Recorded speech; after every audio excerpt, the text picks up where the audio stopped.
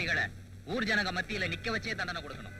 பட்ட பகல்ல பெத்த புள்ள பாத்துக்கிட்டு இருக்கும் போதே வாழைக்குலையை வெட்டுற மாதிரி வெட்டி இருக்கானே ஆள இப்படியே காம்பச்சியா என்னையா அநியாயமா இருக்கு?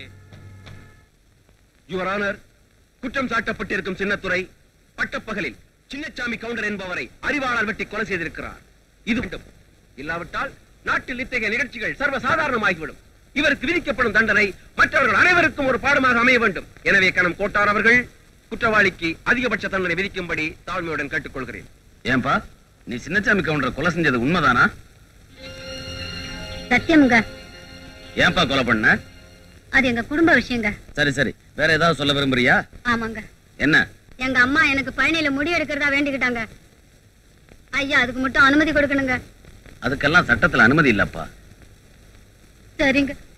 குற்றம் சாட்டப்பட்டுள்ள சின்னதுரைக்கு கருணை காட்ட சட்டம் இடம் தராததால் குற்றவாளியின் வயதையும் குடும்ப சூழ்நிலையும் மனதில் கொண்டு இளம் குற்றவாளிகள் பள்ளியில் பதினான்கு ஆண்டுகள் தண்டனை அனுபவிக்க தீர்ப்பளிக்கிறேன். அம்மா அம்மா அம்மா அம்மா அம்மா அம்மா பழனிக்கு போய் மொட்டை போட்டுக்க முடியாதுன்னு சொல்லிட்டாங்க. பழனிக்கு தான் நீ போக முடியாது. அந்த பழனி முருகன் இங்க வர்றதுக்கு எந்த சட்டமும் தடை போட முடியாதுடா.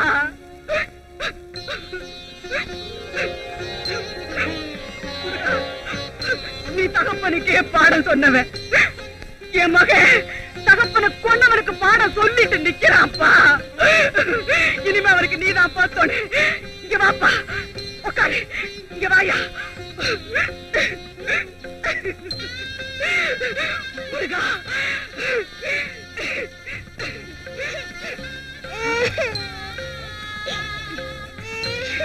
ஏண்டி அழற? உங்க அண்ணன் காசு பணத்துக்கு ஆசைப்பட்டு யார் தலையை அறுத்துட்டு ஜெயிலுக்கு போகலடி? அம்மா. போயிட்டு வாப்பா. என் உசுறு இருக்கிற வரைக்கும் உனக்காக நான் காத்துக்கிட்டே இருப்பேன். ஒருவேளை உங்க அப்பா தன்னோட என்ன அழுத்துக்கிட்டாருன்னா தங்கச்சியை மட்டும் கைவிட்டுடாதப்பா காப்பாத்து. வா.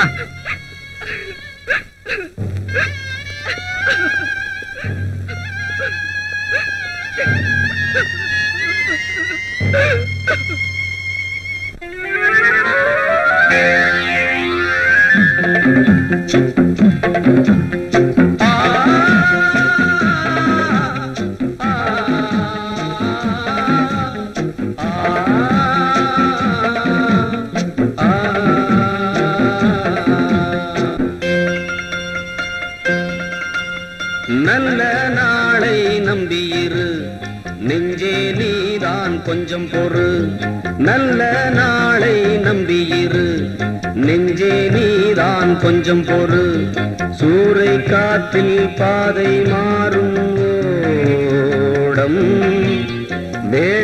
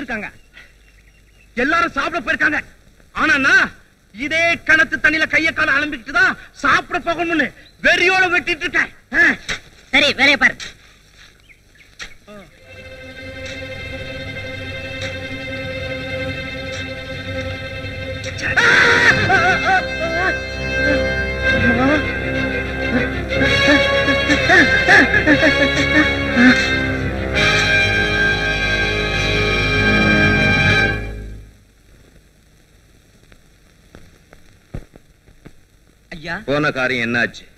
அதை ஏஜமா கேக்குறீங்க. நம்ம காத்தமுத்து கிணறு தோண்டும் போது மண்ணு சரிஞ்சு விழுந்து பாவம் அந்த கிணத்துக்குள்ளேயே சமாதி ஆயிட்டான். அட பாவமே. தங்கச்சல மாதிரி அழகா இருப்பா. வாழ வேண்டிய வயசுல கட்டின புருஷனை காவு கொடுத்துட்டு அவ கதறன கதறல பார்த்தா கல்லஞ்சு கூட கரைஞ்சிடுங்க. இனி அவ கதி என்னடா? ஆறுதல் சொல்லி உதவி செய்ய ஐயா வர தகவலையும் சொல்லிட்டு வந்தோம். கொஞ்சம் பணம் கொடுத்தா நிலப்பணம் வாங்கிட்டு பொழைச்சுக்கிறதா சொல்லிட்டா. புரிஞ்சுக்கிட்டாளா? வெள்ளச்சிலைய விடிஞ்சதுக்கு அப்புறம் கட்டிக்கிறேன்னு சொல்லிட்டா. விளங்காமலே சொல்லுவா.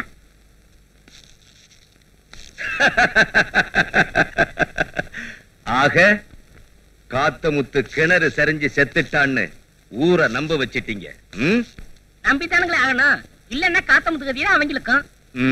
ஐயா நாகசாமியா? வா ஐயா வா.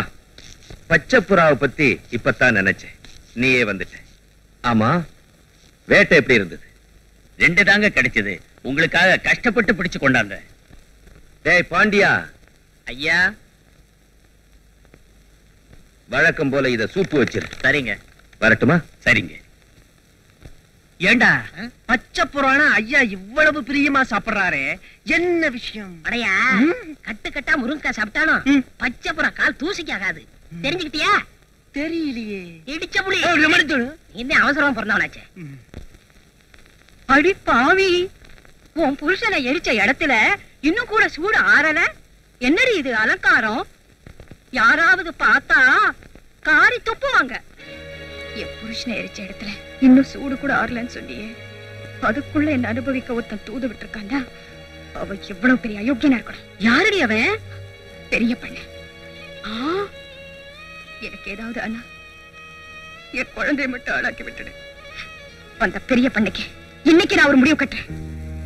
எடுத்துட்டு போ எடுத்துக்கிட்டு.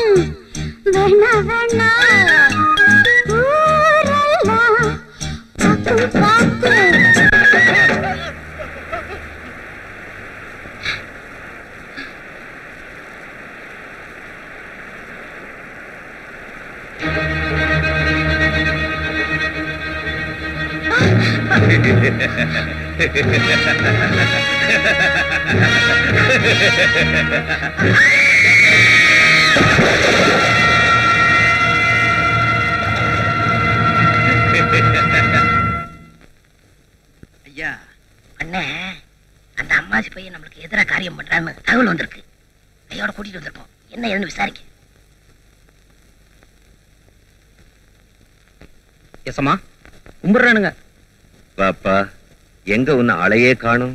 அறுவடை சமயமாச்சுங்களே. வேலை சரியா இருந்தது. வயலுக்கு போற வழியில. என்ன பேச்சு நின்னு போச்சு?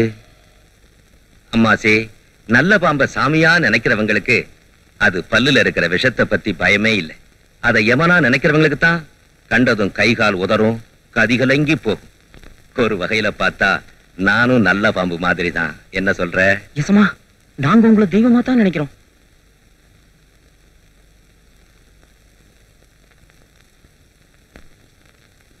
அந்த தெய்வத்தை பத்தி நீயே அவதூறு கிளப்பலாமா? யாரோ வேண்டாதவங்க கிளப்பி விட்ட பொருளிங்க இது. உங்களை பத்தி நான் அப்படி பேசியிருந்தா என் குடும்பமே உருப்படாதுங்க. இந்த இடுப்பு துண்டை போட்டு தாண்ட முடியுமா? தாண்டனுங்க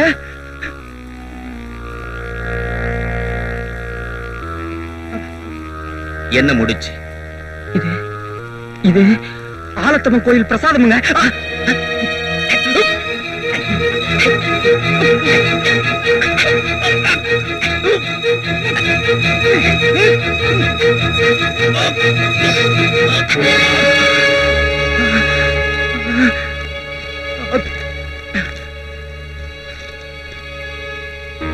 போலீஸ் இன்ஸ்பெக்டர் ஐயா சமூகத்துக்கு.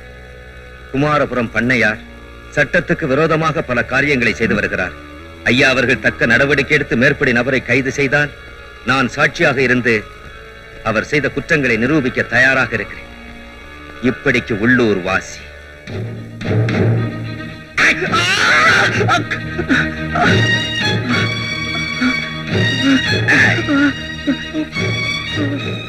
இத பட்டாமணியத்துக்கிட்ட எழுதி வாங்கிட்டு போலீஸ் ஸ்டேஷனுக்கு போய்கிட்டு இருக்கு. அப்படித்தானே? எழுதின மசி காயறதுக்குள்ள பட்டாமணியமே தகவல் கொடுத்துட்டான்டா. எசமா இந்த ஒரு தடவை என்ன உனக்கு மன்னிப்பே கிடையாது. மரணம் தான் தண்டனை. அவங்க அவங்க முடிவை அவங்க தான் தேடிக்கணும். அதுதான் என் கொள்கை.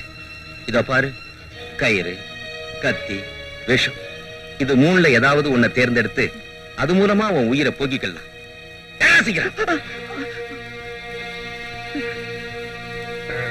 ஆலோசனை. ஐயா.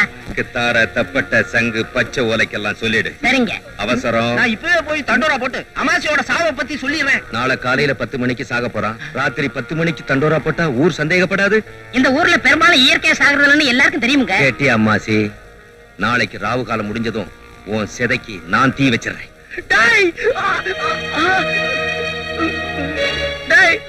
போறேன். ஆனா கண்டிப்பா உனக்கு முடிவு கட்ட இத நீ ஞாபகத்துல வச்சுக்கோ.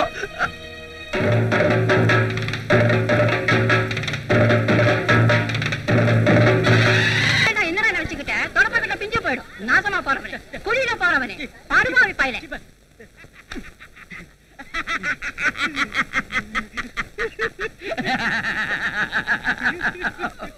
சாமி சாமி சாமி வெளியே சொல்லிடாதீங்க. மானம் போயிடும். உங்களுக்கு என்ன வேணும்? எனக்கா ஒரு சாப்பா ஒரு துப்போ ஒரு டப்பா ஒரு தும்குடு ஐயா அப்படிப்பட்ட பலகாரம் நம்ம கடையில கிடையாதுங்கடா? பின்ன ஏன் போர்டில் எழுதி வச்சிருக்கிற? சாப்பாடு போடப்படும் எழுத சொன்னேன் அவன் பழைய விரோதத்தை மனசுல வச்சுக்கிட்டு இடமே இல்ல சொல்லிட்டு பிரிச்சு பிரிச்சு எழுதிட்டான். உன் டீ மாதிரி தான் இருக்கு உன் போர்டும். நல்ல ஒரு காப்பி கொடுக்க சொல்லு. காபி போடுண்டா. போடுங்க.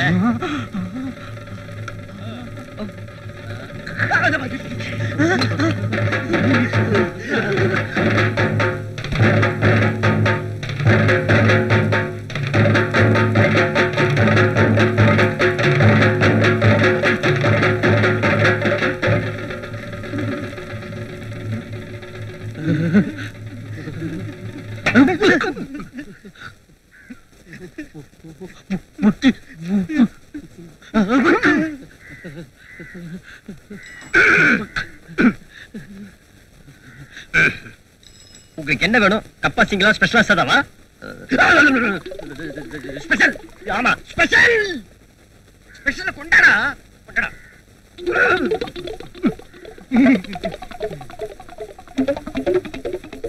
அண்ணட்ட இதுக்கு மேல நம்ம கடையில கிடையாது. மேல ஒண்ணு கேட்டீங்க வெளியே போய் தான் கடை வாங்கி வரும்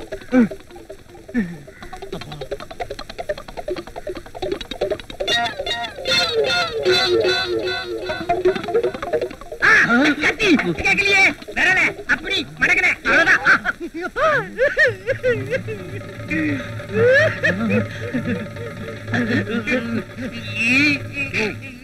இந்த ஊர்ல இடுப்புல கத்திய சொருவிட்டு ஒருத்தன் தெனாவுட்டா போறான்னா அதுக்கு என்னையா அர்த்தம்?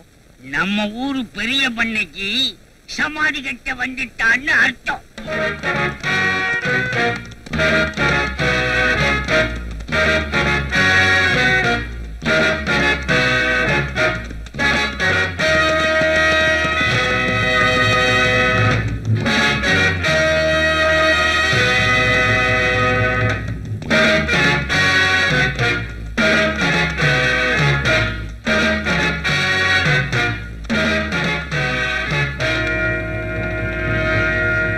என்னடா ஒரு மாதிரியா இருக்கீங்க? உங்களை கொல்ல எவ்வளவு ஒருத்தன் கத்தியும் கையும் அலைகிறானோ அவனை நீங்க பாத்தீங்களாடா? பார்க்கத்தான் போனோம். உங்க ஆள்னு தெரிஞ்சு முத சொருவு இங்க சொருவிட்டான்னா அதனாலதான் திரும்பி வந்துட்டோம். வாங்க. அவன் யாருன்னு பாத்தரலாம். நீங்க எதுக்கு ஏஜமா நம்ம ஆட்களோட போய் அவனை அடிச்சு இழுத்துக்கிட்டு வந்து உங்க காலடியில போடுறோம். சொல்லாதீங்க. செய்யுங்கடா.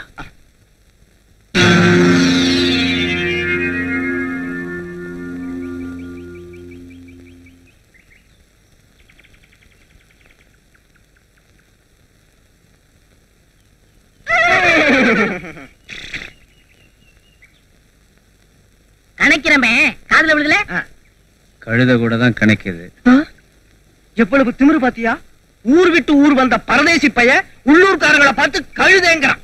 கழுதைய மேல்ரா கம்நாட்டிங்க. கம்லாட்டிங்களா இப்ப நீ வீண் வம்பு இழுத்திருக்க. இல்லன்னா கத்தி இடுப்புல சொருகிட்டு ஊருக்குள்ள தெரிஞ்சுக்கிட்டு இருப்பியா? கத்திய என் இடுப்புல தான் சொல்லியிருக்க உன் வயிற்றுலயா சொல்லியிருக்க விட்டா அதையும் செய்வேன் நீ உடனடியா எங்க பண்ணைகிட்ட வந்து நீ யாரு என்னங்கறத விளக்கமா சொல்லு. பண்ணையாவது தொன்னையாவது உன் பண்ணைக்கு விளக்கம் வேணும்னா என்ன வந்து பார்க்க சொல்றான் மூதேவி. ஆ, பண்ணைய பார்த்து தொன்னேங்கிறான் ஏ மாரி மன்னாரு என்னடா பாத்துக்கிட்டு நிக்கிறீங்க? உத்தரவு வரலையே. உத்தரவு என்னடா உத்தரவு? போய் உதங்கிறான் உதைக்கிறான்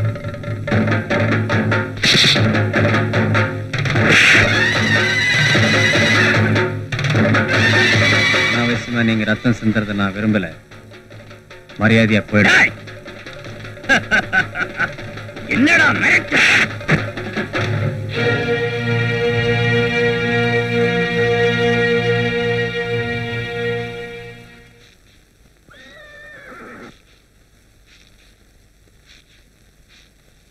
கத்தியோட ஊருக்குள்ள தெரிஞ்சவன் நீதானா? யார கொலை செய்ய?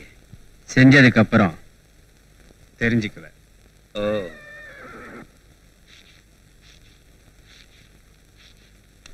டேய் இவன் இடுப்புல இருக்கிற கத்திய பிடுங்கிட்டு தூண்ல கட்டுங்கடா.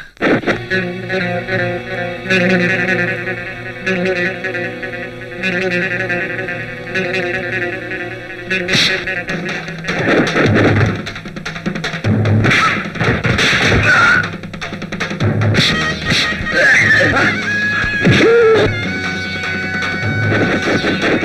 Ah!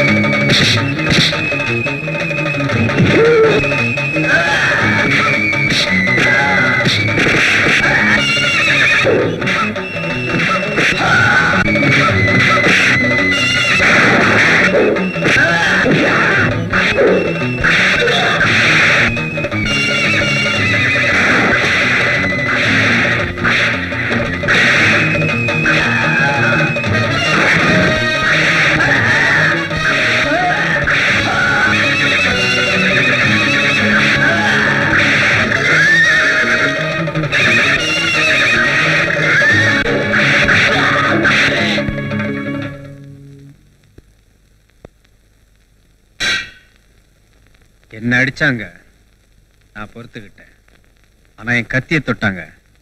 அதான் கோவம் வந்துருச்சு. கத்திய தொட்டாதான் உனக்கு கோபம் வருமா? ஆ என் கத்தியை நான் மட்டும்தான் எடுப்பேன். எப்ப வெளியில எடுக்கிறனோ அப்ப என் எதிரியை கொண்டுட்டு தான் திரும்பி உள்ள வைப்பேன். அப்படி யார கொலை பண்ண அலைகிற எங்க அப்பனை கொலை பண்ண சின்ன துறைய இப்போ அவன் எங்க இருக்கான்? ஜெயில்ல. இன்னும் ரெண்டு மாசத்துல விடுதலை ஆயிருவான். அவனை வாசல்லே தீத்துட்டு தூக்குக்கு போயிடுவேன். அப்படியா? அப்ப எதுக்காக இந்த ஊருக்கு வந்த? காட்டுல வேலைக்கு ஆள் எடுக்கிறதா சொன்னாங்க. அதான் வந்தேன். காட்டுலயா? காட்டுல ரெண்டு மூணு நாளைக்கு மேல யாரும் வேலை செய்ய மாட்டாங்க. காரணம்? மோகினி நடமாட்டம் இருக்குன்னு எல்லாரும் நம்புறாங்க. அதனால இங்கேயே வேலைக்கு சேர்ந்துற அப்ப திங்க சோறும் தங்க இடமும் தருவீங்களா? நிச்சயமா. அப்ப செய்யறேன் டேய் ஐயா. இவனை கூட்டிட்டு போய் வேண்டிய வசதி எல்லாம் பண்ணி கொடுங்க. வாங்க. வாங்க. நாகசாமி.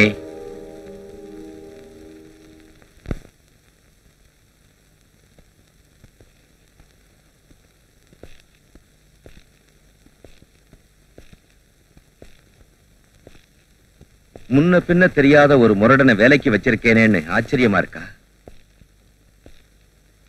நாகசாமி இப்படிப்பட்ட துணிச்சல் காரண துணையா வச்சுக்கிறது எப்பவுமே நல்லது. ஐயா உங்க திறமை யாருக்கு வரும்?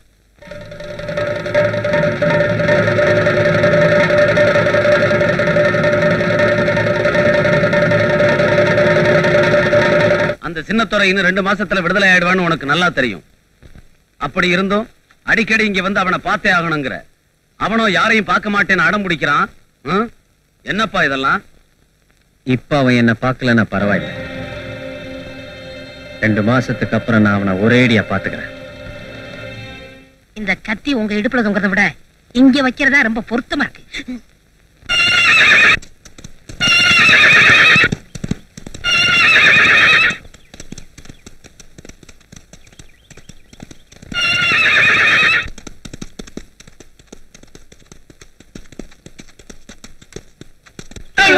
இந்த முறை அந்த குதிரைகிட்ட நீ போகாத. அது முரட்டு குதிரை யாருக்கு அடங்க மாட்டேங்குது? அடங்காதது அடக்கிறதா எனக்கு ஆசை.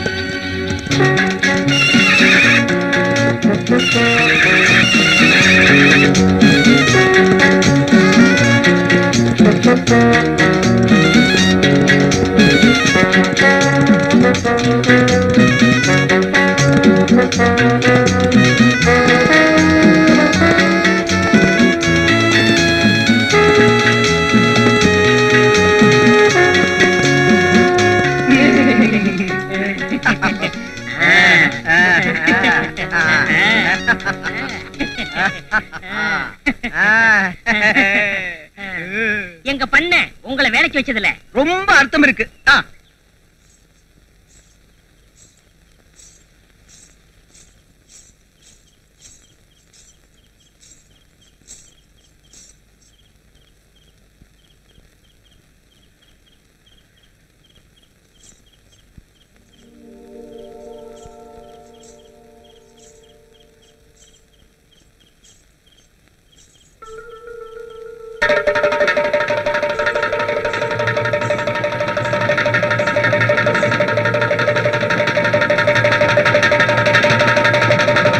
பிச்சை.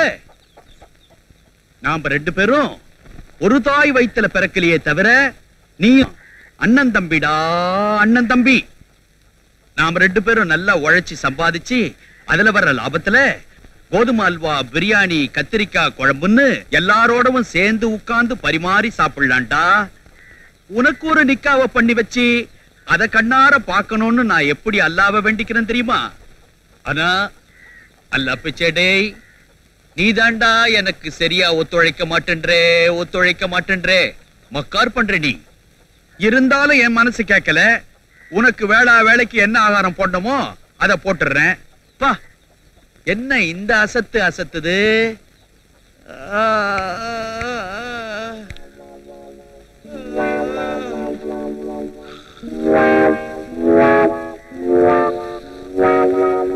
பாய். பாய். ஏறுங்க ஏறுங்க எல்லாரும் என் வண்டியில ஏறுங்க. இது குதிரை வண்டி இல்ல ஏரோப்ளேன் பறக்கும் பறக்கும். தலைக்கு ஒரு ஆளுக்கு ஒரு கிலோமீட்டருக்கு ஒரு ரூபா. தலைக்கு ஒரு ஆளுக்கு ஒரு கிலோமீட்டருக்கு ஒரு ரூபா. கத்தியா? அதெல்லாம் எனக்கு பிடிக்காது ஒத்து. விலைக்கு வேணுமான்னு கேட்க வந்தேன். ஏமா கத்தி கபடம் எல்லாம் வாங்குறதுக்கு நான் என்ன ராஜ பரம்பரையா? நீங்க தான் அடிக்கடி சொல்லுவீங்களே திப்பு சுல்தான் பரம்பரைன்னு. இப்ப தப்பு சுல்தான் ஆயிப்போச்சு. வேணா விடுங்க பாய். அம்மாடி இப்படி கத்தி கத்தி எல்லாம் வாங்கி கொடுக்கறத விட கொள்ளு வாங்கி கொடுத்தினாக்கா குதிரைக்கு போடுவேன். நாளுக்கு நாள் இழைச்சிக்கிட்டே போகுது. இப்படியே விட்டா கடைசியில ஒரு எலும்பு கூட தான் வண்டி எடுத்துட்டு போக போகுது. இல்லம்மா நேத்து கூட இடியாப்பம் பாயா கொடுத்தேன். வயித்தால போகுது. வேற என்ன கொடுக்கலாம்? பிரியாணி வாங்கி கொடுத்து பாருங்களேன். கரெக்ட் தாஜ்மஹால் ஹோட்டல்ல நாளைக்கு ஒன்றரை பிளேட் அடிச்சிடுறேன். நீங்க அடிக்காதீங்க. நம்ம அல்லா பிச்சுக்கு கொடுங்க. நீ கிண்டல் கோர தங்கச்சி கிண்டல் கோர தங்கச்சி. சரி சரி. நான் போயிட்டு வரேன். டேய் அல்லா பிச்சை. இன்னைக்கு ஒழுங்கா தொழிலை கவனிக்கணும். இல்லைன்னா எனக்கு கோபம் வரும். चलो भाई निकल के आगर से चलो भाई निकल के आगर से हाय ஒன்னே முக்கால் ரூபாச்சு மிச்ச நாள்லாம் கொடு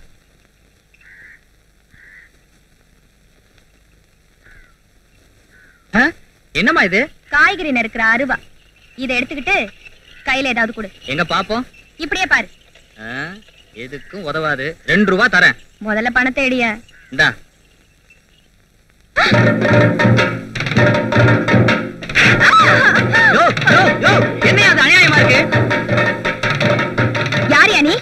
என் கத்திய புடுங்கிட்டு என்னைய நீ கை நீட்டி அடிக்கிறியா?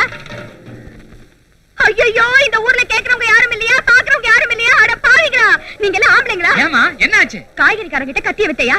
அத புடுங்கிட்டு இந்த ஆள் என்ன கையை நீட்டி வேற அடிச்சிட்டான் இதே உங்க அக்கா தங்கச்சிக்கு நடந்தா அதை பார்த்துட்டு சும்மா இருப்பீங்களா நீங்க? ஏய் ஏப்பா அப்படி செஞ்ச? ஹேய்! இது ஏன் கத்தி?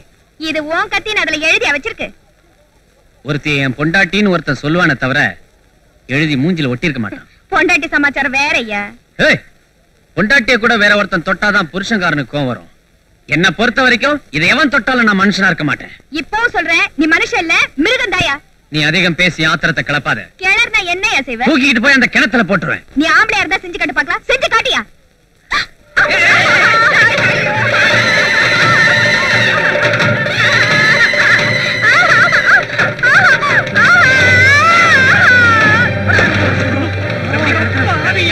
யார பார்த்த ஆம்பளையா இருக்க?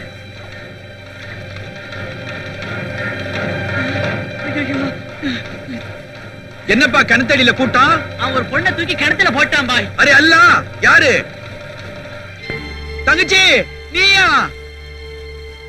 இதெல்லாம் என்னம்மா விளையாட்டு? மேல ஏறி வாமா கன்னத்துல அரைஞ்சா தட்டிக்க கால் இல்ல கிணத்துல தூக்கி போட்டா தடுத்து நிறுத்த முடியல. நீங்க எல்லாம் ஆம்பளைங்க. இப்ப என்னதான் செய்ய சொல்ற? ஆ? உள்ள தூக்கி போட்டவனே வெளியில எடுத்து விட சொல்லுங்க. இல்ல தண்ணிலேயே வலிச்சு ஜன்னி கண்டு சாவ. நான் கூட்டிட்டு வரேன். ஜாக்கிரதையா இங்கே இரு. யோ தங்கச்சிய ஜாக்கிரதையா பாத்துங்கய்யா பாத்துறோம் என்னப்பா? ஏப்பா வயசு பொண்ண கிணத்துக்குள்ள தள்ளிட்டு நீ பாட்டுக்கு கத்தி எடுத்துக்கிட்டு விருன்னு போறியாப்பா? அந்த கிணத்துல இடுப்பளவு தண்ணின்னு தெரிஞ்சுதான் அதுல அவளை தூக்கி போட்டு வந்தா. அவ அங்கேயே கடந்து சாகட்டும். ஏப்பா அந்த பொண்ணு என்ன தவளையா மீனா தண்ணியில விடுறதுக்கு ஜன்னி வந்து செத்துக்கிட்டு போறாப்பா? தரையிலே இந்த வெறுப்பு வரைக்கிறா. தண்ணியில விரைச்சா தப்பு கிடையாது. யாரு கிணத்துக்குள்ள தூக்கி போட்டாங்களோ அவங்க வந்து காப்பாத்தினதான் நான் மேல வருவேன்னு அடம் பிடிக்கிறாப்பா. ராஜா இல்ல! பெரிய மனுஷன் நீ சொல்றேன்னு கேக்குறவா? அரே அல்லா அரே அல்லா.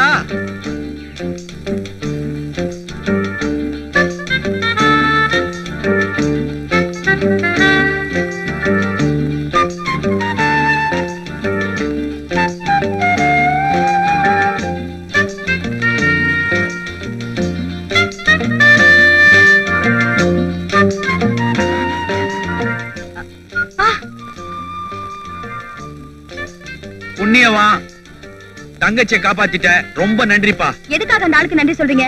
தவறி விழுந்தவளையா? காப்பாத்தினாரு. தள்ளி விட்டவளை தானே காப்பாத்தினாரு? அதான் செஞ்ச தப்புக்கு தண்டனை. அப்ப செஞ்ச தப்புக்கு தண்டனை கொடுத்தே ஆகணுங்கிற? என்னைய சொல்ற நீ?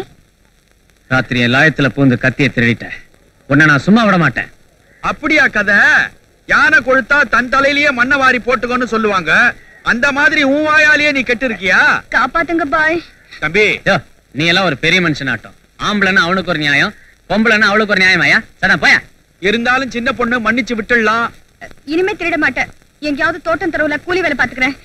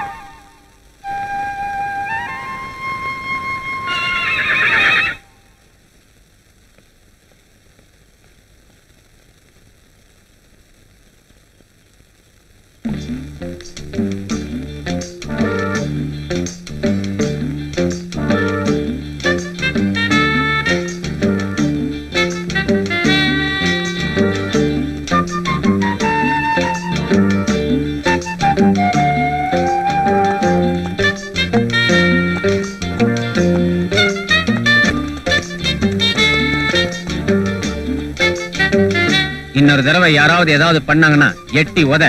என்ன வந்தாலும் நான் பாத்துக்கிறேன்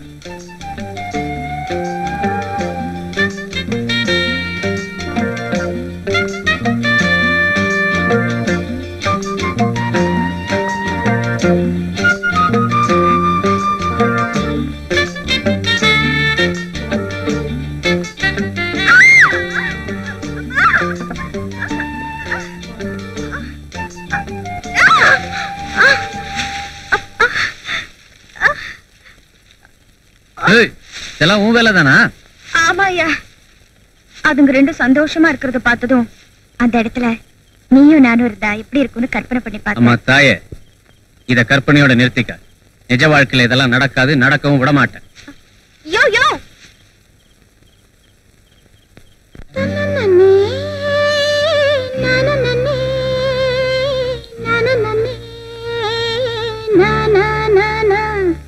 ஒத்தையிலே பெண் குதிரை நிக்குதையா தனியா தனியா. பொட்டை இன்னும் ஒதுக்காது பிரிஞ்சா வாடும் நெட்டையில இருந்தாத்தான் சகமா சேரும் இணையா துணையா சேர்ந்துக்க விடுயா விடையா இணையா துணையா சேர்ந்துக்க விடையா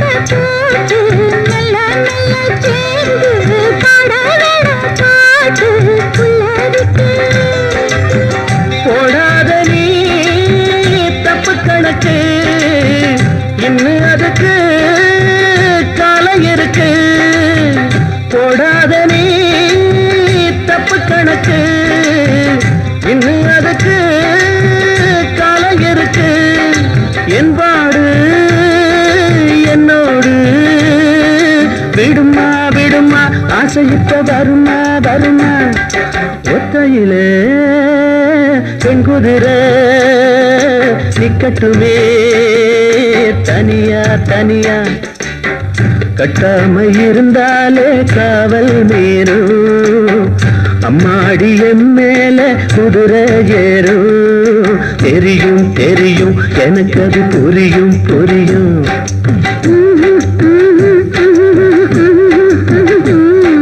ஒத்தையில பெண்குதிரை நிக்கட்டுமே. தனியா தனியா. மனுஷனையா நீ உணர்ச்சி இல்லாத ஜடமா இருக்கியே. நீ என்ன என்ன வேணாலும் சொல்லு பரவாயில்லை. பழி வாங்குற உணர்ச்சியை தவிர என் மனசுல வேற எந்த உணர்ச்சிக்கும் இடம் கிடையாது. அப்படி யாரையா பழி வாங்க போற? அதை தெரிஞ்சுக்க வேண்டிய அவசியம் உனக்கு இல்ல நீ யார வேணா பழி வாங்கு நான் குறுக்க நிக்கல. ஆனா என் கழுத்துல மட்டும் ஒரு தாலியை கட்டி. கட்டுறேன். ஆனா ஆயுசு பூரா நீ விதவை நிக்க தயாரா? அதுக்கும் நான் தயாரா இருக்கேன். உன்னை அப்படி நிறுத்த நான் தயாரா இல்ல. இப்ப சொல்லட்டுமா? நீ இல்லன்னா நான் துத்தராகத்தை கரைச்சு குடிச்சு சாகத்தாயா போற? விதவையா நிக்கிறத விட விஷத்தை குடிச்சு சாவறதே மேல். அப்ப சரி இப்ப சொல்ற கேட்டுக்க. நான் சாகத்தாயா போறேன் சத்தியமா நான் சாகத்தான் போறேன். என் வயிறு எரிஞ்சு சொல்ற கேட்டுக்க. நீ உன் எதிரி இனிமேதான் கொல்ல போற. ஆனா என்ன? உன்னை நம்பி வந்தவள இப்பவே கொண்டுட்ட இந்த பாவம் உன்னை சும்மா விடாதியா? சும்மாவே விடாது.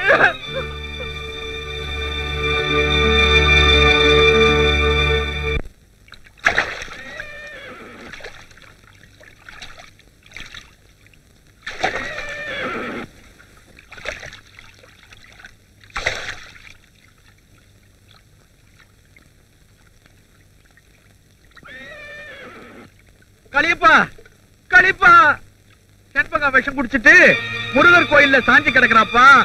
அடி பைத்தியக்காரி. விளையாட்டுக்கு சொல்றான்னு நினைச்சேன் நிஜமாவே செஞ்சுட்டாளா? சாகரத்துக்குள்ள உன்னை ஒரு தடவை பார்க்கணும்னு ஆசைப்படுறாப்பா.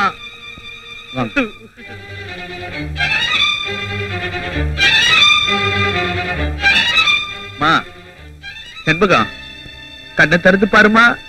யார் வந்திருக்கான்னு பாருமா.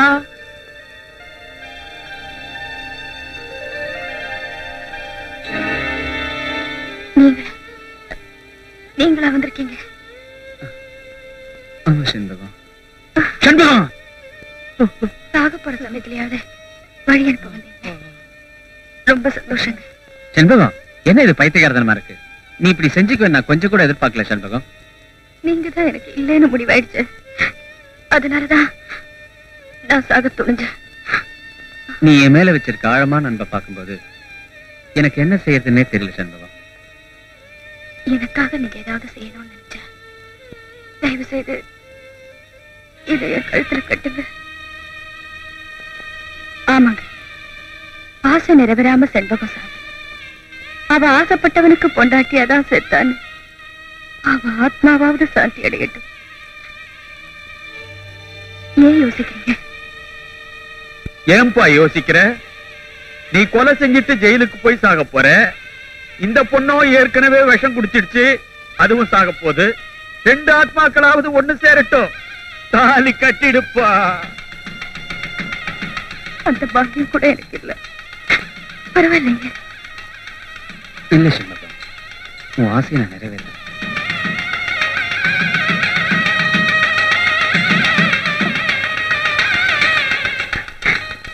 எனக்கு கல்யாணம் ஆயிடுச்சு. இனிமே இனிமே நான் உங்க மனைவிதான். நான் உங்க மனைவிதான்.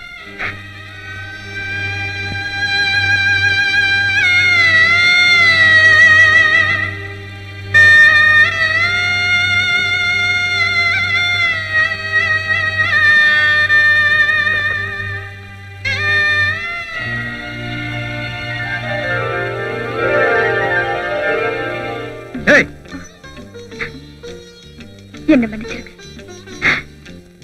அப்போ நீ ஏமாத்தி கல்யாணம் பண்ணிக்கிட்ட. இல்ல? ஆமாங்க ஏமாத்தேன் எதுக்காக? உங்க சொத்து சுகத்துக்காகவா? இல்ல உங்க பொண்டாட்டின்னு சொன்னா ஊர்ல எனக்கு கிடைக்க போற பேரும் புகழுக்காகவா? இல்லைங்க.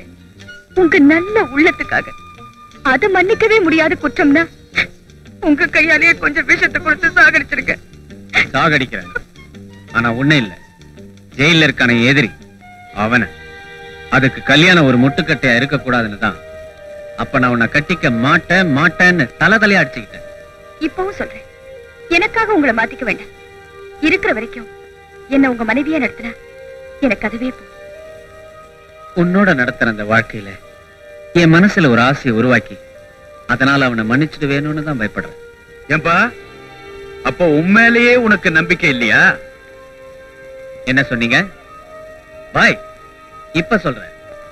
படைக்கும் போதே ஆண்டவன் என் தலையில கொலகாரன் எழுதிட்டான். பிறக்கும் போதே அவனுக்கு சாவு என் கையாலன்னு வச்சிருக்கான். அதை எழுதணும்னு இருந்தாலும் மாத்த முடியாது. நல்லா ஞாபகம் வச்சுங்க. சரிப்பா. அது வரைக்கும் நீங்க ரெண்டு பேரும் தம்பதிகளா சந்தோஷமா வாழுங்களே. ம், வாழத்தான் போறேன். ஒரு புருஷன்கிட்ட பொண்டாட்டி எதிர்பார்க்கிற எந்த சுகத்தையும் நீ என்கிட்ட எதிர்பார்க்க முடியாது. என் மனசை மாத்தவோ இல்ல என்னை தடுத்து நிறுத்தவோ நீ முயற்சி பண்ண ஒரு பொண்டாட்டிங்கிற அந்த உரிமையை நீ இழந்துருவ. இத நல்லா ஞாபகம் வச்சுக்க.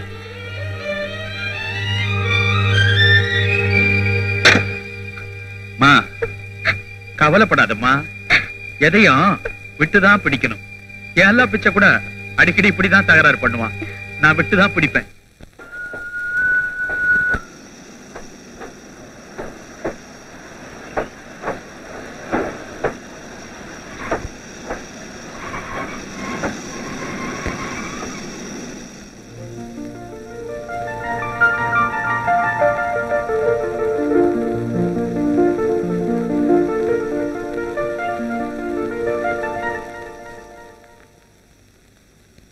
மாட்டிக்கிச்சு சார் நம்ம வண்டியில போலாம் வாங்க.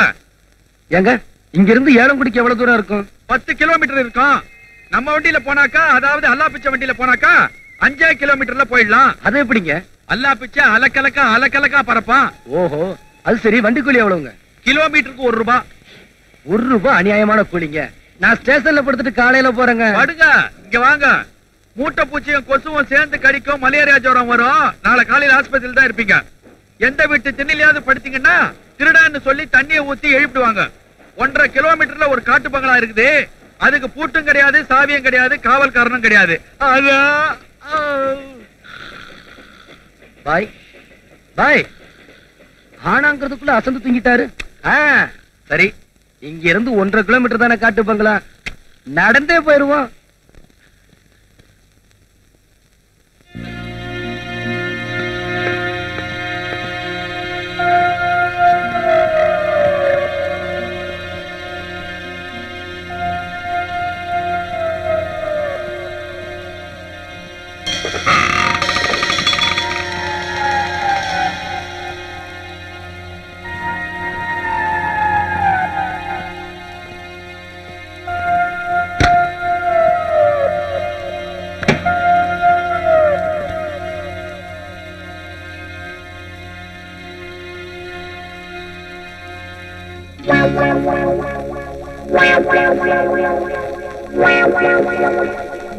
Thank you.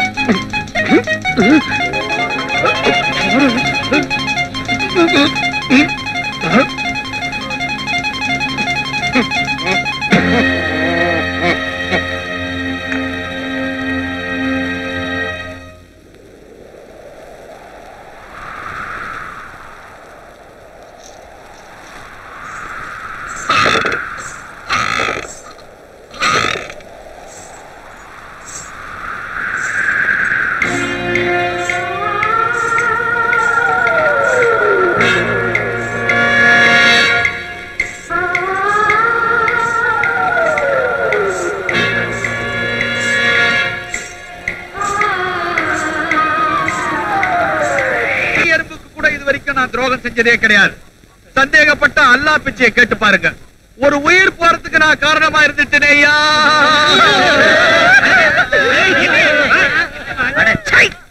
ஏன் இப்படி ஒப்பாரி வைக்கிறீங்க? ஆக வேண்டிய காரியத்தை பார்க்காம என்னமா ஓனுகிட்டு காரியத்தை கவனிக்க தான் போறேன். என்னுடைய சொந்த காரியத்தை இல்ல. செத்து போயிட்டான இளம் தளிர். அவனுடைய ஈமக்கடனை நான் தான் கவனிக்க போறேன். அம்மா இப்ப என்ன பண்ண போறீங்க? எல்லாரும் சேர்ந்து என்னோட வாங்க.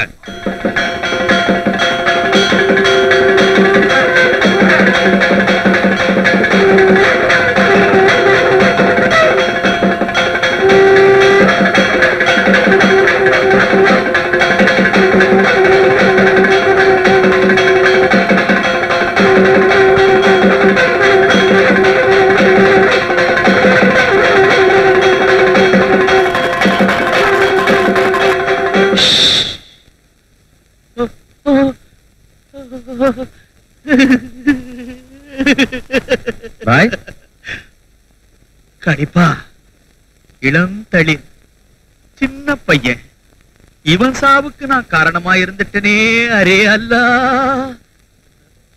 ஏமக்கடன் எல்லாம் உங்க முறைப்படி செஞ்சு முடிச்சிடுங்க. பாய் கிழநாழிக்கு செய்ங்கய்யா முறைப்படி எல்லாத்தையும் செய்ய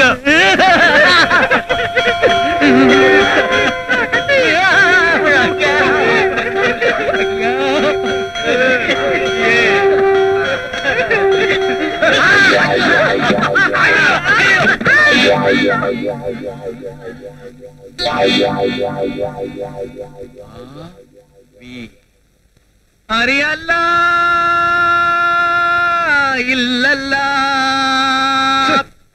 என்ன அதெல்லாம் தம்பி நேத்து ராத்திரி நான் தான் தெரியாம இந்த இடத்துக்கு உன்னை கை காட்டி அனுப்பிச்சேன் பழா போன மோகினி உன்னை விட்டு வைக்கலையே நீ செத்து போயிட்டியப்பா அநியாயமா செத்து போயிட்டியே பேயாவது பிசாசாவது நான் உயிரோட தான் இருக்கேன் உயிரோட வா எப்பா நீ ஆவி கண்ணா கண்ணா நீ ஆவி கண்ணா. பாய்? உனக்கு என்ன பைத்தியமா? அவன் உயிரோட தான் நின்னுட்டு இருக்கான். உயிரோட வா என்ன உயிரோட இருக்கிறவனுக்கு தான் பாட கட்டி மோளை அடிச்சு சங்கு ஊதி தூக்க பாத்தீங்களே நீங்களே பெரிய மனுஷனாயா?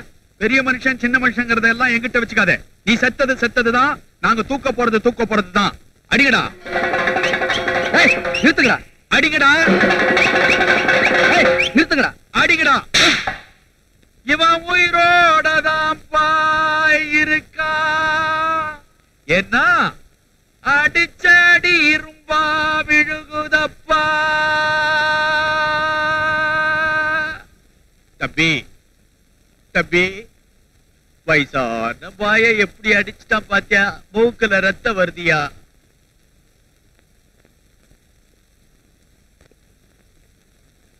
போயா டேய்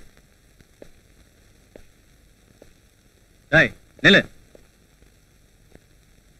கொஞ்சம் மரியாதையா பேசினா நல்லா இருக்கும் ஒரு பெரிய மனுஷனை மரியாதை இல்லாம தள்ள நீ என் மரியாதை பத்தி பேசுற? பெரிய மனுஷன். பெரிய மனுஷன் மாதிரி நடந்துக்கலையே. தான் செஞ்சது தப்புன்னு வருத்தப்பட்டு உனக்கு ஏதாவது ஆயிருக்குமோன்னு ஓடி வந்திருக்காரு. அது பெரிய மனுஷத்தன்மை இல்லையா? இல்ல. அது முட்டாள்தனம். என்ன என்ன சுடுகாட்டுக்கு கொண்டு போக நினைச்சது மூடத்தனம். இப்ப நீ பேசினதுக்கும் நடந்துக்கிட்டதுக்கும் மன்னிப்பு கேட்கல? ஒழுங்கா ஊர் போய் சேர மாட்டேன் மன்னிப்பு கேட்க வேண்டியது நான் இல்ல நீங்க தான் ஜாக்கிரதை.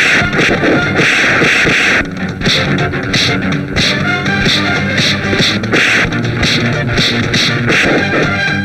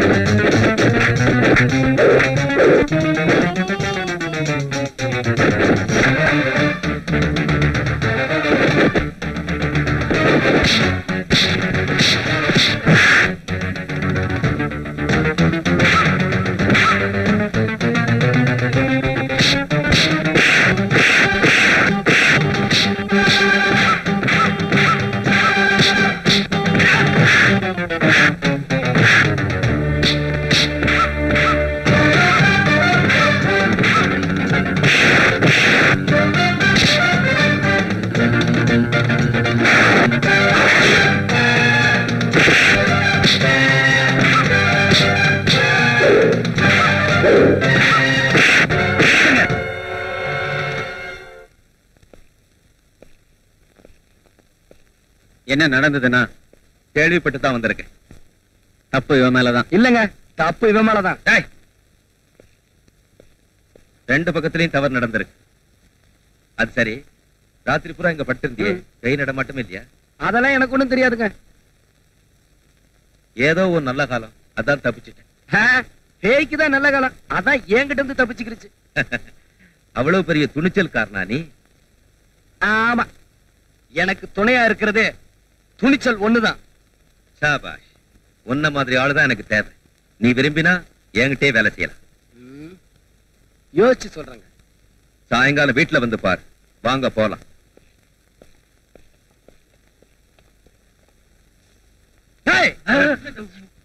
தம்பி நான் உனக்கு ரொம்ப தொந்தரவு கொடுத்துட்டேன். மன்னிச்சுக்கணும். நீங்க என் வீட்டுல தங்கிட்டு வயிறார சாப்பிட்டு போகணும். வேணாங்க பாய். அப்படி சொல்லக்கூடாது. चलो भाई निकल के आगर से आगर से பாய் பாய் உங்களுக்கு இனிப்பு கொண்டு வந்திருக்கேன் அண்ணா நீயா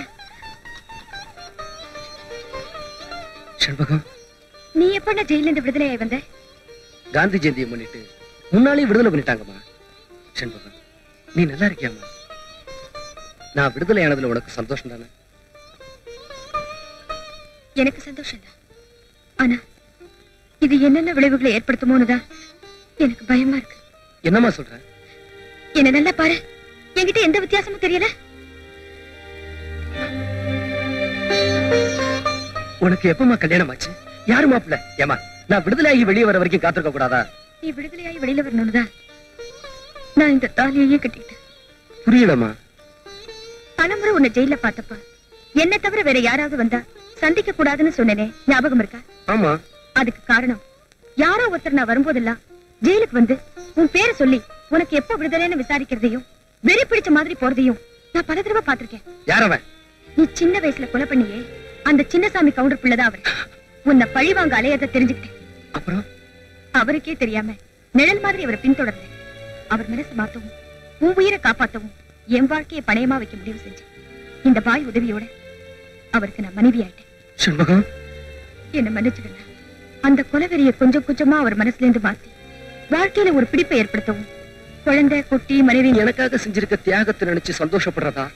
இல்ல கத்தியும் கையுமா அலையிற ஒருத்தனுக்கு கழுத்தை நீட்டி இருக்கேன்னு கண்ணீர் விடுறதான்னு எனக்கே தெரியலம்மா. இப்ப கண்ணீர் விட வேண்டிய நிலைமையில நான் தான் நினைக்கிறேன் என் கணவருக்கு நீ யாருன்னு தெரிஞ்சுட்டா சத்தியமா அவர் கொலைகாரர் ஆயிடுவாரு. செண்பகம் நான் அவங்க அப்பனை கொன்னதுல நியாயம் இருக்கு. ஆனா அவன் என்ன கொல்ல நினைக்கிறது என்னமா நியாயம்? நீ கொன்னது நியாயம். அவர் கொல்ல நினைக்கிறது அநியாயம். இது என்னென்ன நியாயம்? அப்ப நீ சின்ன குழந்தைமா கிராமத்துல நம்ம அப்பாவோட உயிர் நண்பரா இருந்தாரு அந்த சின்னசாமி கவுண்டர். ஊர் நாட்டாமங்கிற முறையில அப்பா கிட்ட ஊர் விஷயங்களை கலந்து ஆலோசிப்பாரு.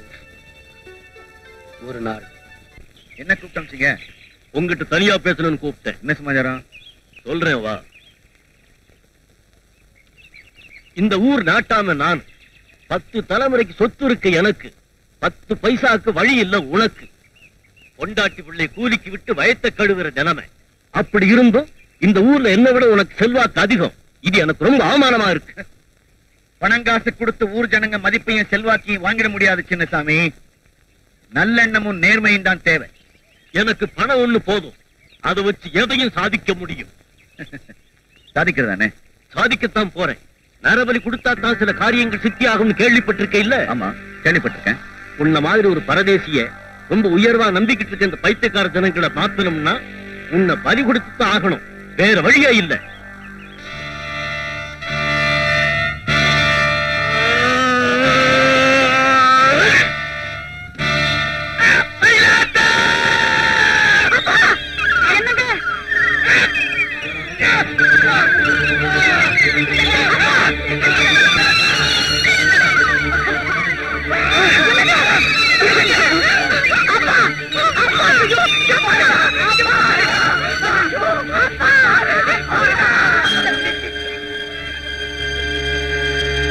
காட்டுலாக்க அதிகாரிங்கிற முறையில இந்த வழக்கில் நான் சம்பந்தப்பட்டிருக்கேன். இந்த கொலைய சின்னச்சாமி கவுண்டர் தான் செஞ்சிருக்காரு. அதை கண்ணால பார்த்த சாட்சிகள் நீங்களும் உங்க மகனும் தான் ஊர்ல பேசிக்கிறாங்க. அது உண்மையா இருந்தா யாருக்கும் பயப்படாம துணிச்சலா நீங்க கோர்ட்ல வந்து சொல்லலாம். உங்களுக்கு தேவையான உதவிகளையும் பாதுகாப்பையும் நான் செஞ்சு தர தயாரா இருக்கு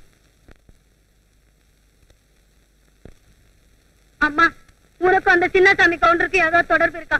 அதனாலதான் நீ இந்த ஆளை காட்டி கொடுக்கலையா? நீ என்னடா சொன்ன? எங்க அம்மா பத்தி யாராவது தப்பா பேசினீங்கன்னா உங்களை கொலை செஞ்சிருவேன்னு சொன்னேன்.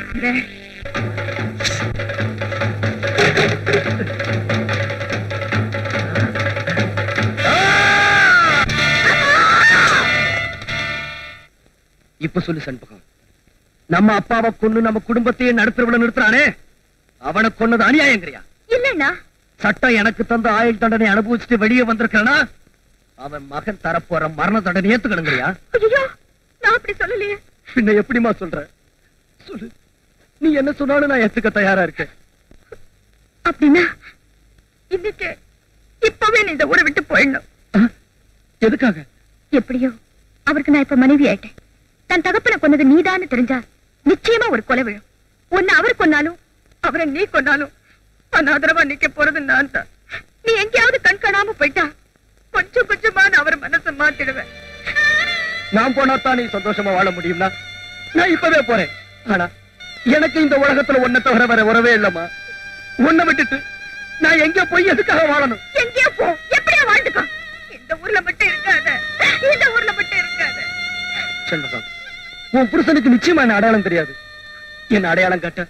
உன்னை தவிர வேற யாரும் இந்த ஊர்ல கிடையாது. உன் புருஷனோட வாழ்றத ஒரு மூணாவது மனுஷன் மாதிரி பார்த்து சந்தோஷப்பட்டுக்கிறமா தயவு செஞ்சு என்ன இந்த ஊரை விட்டு போக சொல்லிடாதம்மா. ஐயோ நான் என்ன சொல்றேன்னா? புரியுதுமா தப்பி தவறி நம்ம உறவு வெளியில தெரியுற மாதிரி நடந்துக்க வேணும் நீ பயப்படுற. இது உன் வாழ்க்கை பிரச்சனை. செண்பகம் என் உயிரே போனாலும் சரி உன்னை என் தங்கனை என் வாயால வெளியே சொல்லவே மாட்டேன். இது சத்தியமா? சரி சரி. என்ன அவர் தேடுவாரு நான் போறேன். நான் சொன்னதெல்லாம் ஞாபகம் இருக்கட்டும். தைரியமா போமா உனக்கு வேலை கொடுக்கறதுல எந்த ஆட்சேபனையும் இல்ல. எனக்கு மட்டும் நீ உண்மையானவனா நடந்துகிட்டா சரி. என்ன பேசாம இருக்க. நான் எல்லாருக்கும் உண்மையானவனா இருக்க முடியாத நிலையில இருக்கேன். ஆனா உங்களுக்கு மட்டும் நிச்சயமா உண்மையா இருப்பேன். எனக்கு அது போதும். உனக்கு நான் என்ன வேலை கொடுக்க போறேன் தெரியுமா? எதுக்கு நான் தயாரா இருக்கேன்? ஓ அப்படியா? காளே குதிரைகளை பாத்துக்க இவனையும் கூட வச்சுக்க. ஆகட்டுங்க. நம்மோட மோதினவனையே கூட அனுப்புறாரேன்னு நினைக்கிறியா? சண்டை சச்சரவுகளை வீர விளையாட்டா எடுத்துக்கணும். என்ன? அதெல்லாம் நான் காலையிலேயே மறந்துட்டேன். இந்த ஆள் அதை மனசுல வச்சுக்கல சரி. என்ன பொறுத்த வரைக்கும் உன்னை நண்பனை அடையறதுல சந்தோஷப்படுறேன். டாபா இந்த மாதிரி மனப்பான்மை உள்ளவங்களை தான் எனக்கு பிடிக்கும். காளி கூட்டிட்டு. சாப்பிடறதுக்கும் தங்கறதுக்கும் வசதி பண்ணி கொடு. சரிங்க. பாப்பா. இதுதான் வசந்தமா அடடே. ஆச்சரியமா இருக்கே. நீங்க கூட யார் கூடவோ பேசிட்டு வரீங்க?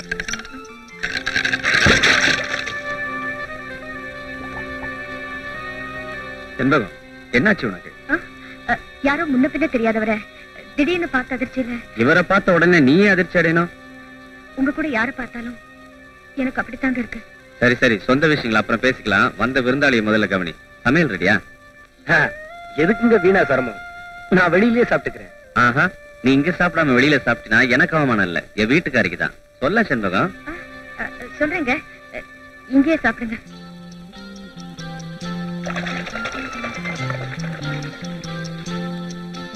செண்பகம் இவர் வேற யாரும் இல்ல. என்னோட தான் இங்க வேலை பார்க்க போறாரு. ஊரு பேர் இன்னும் ஒண்ணும் விசாரிக்கல. அறிமுகமே சண்டையில தான் ஆரம்பிச்சது. ஆனா இப்ப சிநேகம் ஆயிட்டான் இல்லையா? ஆமா உங்க பேர் என்னன்னு சொல்லலையே. முத்து. முத்து? என் பேரு காளி. காளிய முத்தும் ஒன்னா சேர்ந்தா காளி முத்துன்னு ஒரே பேரா இருக்கிற மாதிரி இனிமே நீ நானும் ஒன்னா இருக்கணும். என்ன? ஆமா. என்ன முத்து ஒவ்வொரு வார்த்தையும் எண்ணி நீ பேசிட்டு இருக்க? சும்மா கலகலன்னு இருக்கணும். என்ன? பேசுறது காசா பணமா? இரு நம்ம வந்துடுறேன்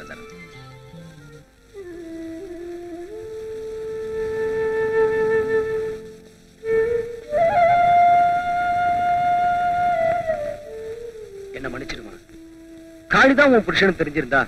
சத்தியமா அந்த வீட்டு படியே ஏறி இருக்க மாட்டேன். இது வரைக்கும் மடியில தான் நெருப்பு கட்டிட்டு இருந்தேன். இப்ப நீ என்ன அது மேலேயே நிக்க வச்சுட்ட.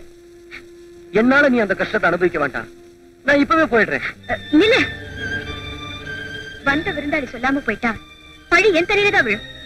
ஏன் போனேன் எதுக்கு போனேன்னு அவர் ஆராய கிளம்பிடுவார். அது பெரிய விபரீதத்துல கொண்டு போய் விட்டுடும் செண்பகம் உனக்கு ஏதாவது சோதனை வந்தா துணையா இருக்கலாம்னு வந்தேன். இப்ப நானே உனக்கு சோதனையா வந்து சேர்ந்திருக்கேனம்மா. நான் என்னம்மா செய்ய முடியும்? நடந்தது நடந்து போச்சு. நீ அவருக்கு சிநேகிதனாவே இரு. ஆனா எக்காரணத்தை கொண்டும் நமக்குள்ள உள்ள உறவை அவர் தெரிஞ்சுக்காம நடந்துக்க அது மட்டும் இல்ல அவர் தேடிட்டு இருக்கிற ஆள் நீதான் தப்பி தவறி கூட சந்தேகப்படும்படி நடந்துக்காது. செண்பகம் அவன் தேடிக்கிட்டு இருக்காள் நான் தான் என்ன காட்டி கொடுக்க ஒரே ஒரு ஆதாரம் இருக்கு. அது வேற ஒண்ணும் இல்ல. நீயும் நானும் அப்பா அம்மாவோட சேர்ந்து எடுத்துக்கிட்ட இந்த போட்டோ நம்ம எல்லாரையும் பழிவாங்க இது ஒண்ணே போதும். சின்ன வயசுல அவர் உன்னை பார்த்திருக்காரு. இது நிச்சயமா உன் அடையாளம் காட்டி கொடுத்துரும். இதை இப்பவே உன் கையால அடுப்புல போட்டு எரிச்சிடு. அத்தோட எல்லாமே முடிஞ்சிடும். முத்து நீ போய் கை கால் அலம்பிட்டு நான் தலையே முழுகிட்டேன். என்னப்பா சொல்ற? காலையில என்ன தேய்ச்சு ஆனந்தமா தலை முழுகனேன்னு சொன்னேன். ஓ ஒரு நிமிஷம் சாமி கும்பிட்டு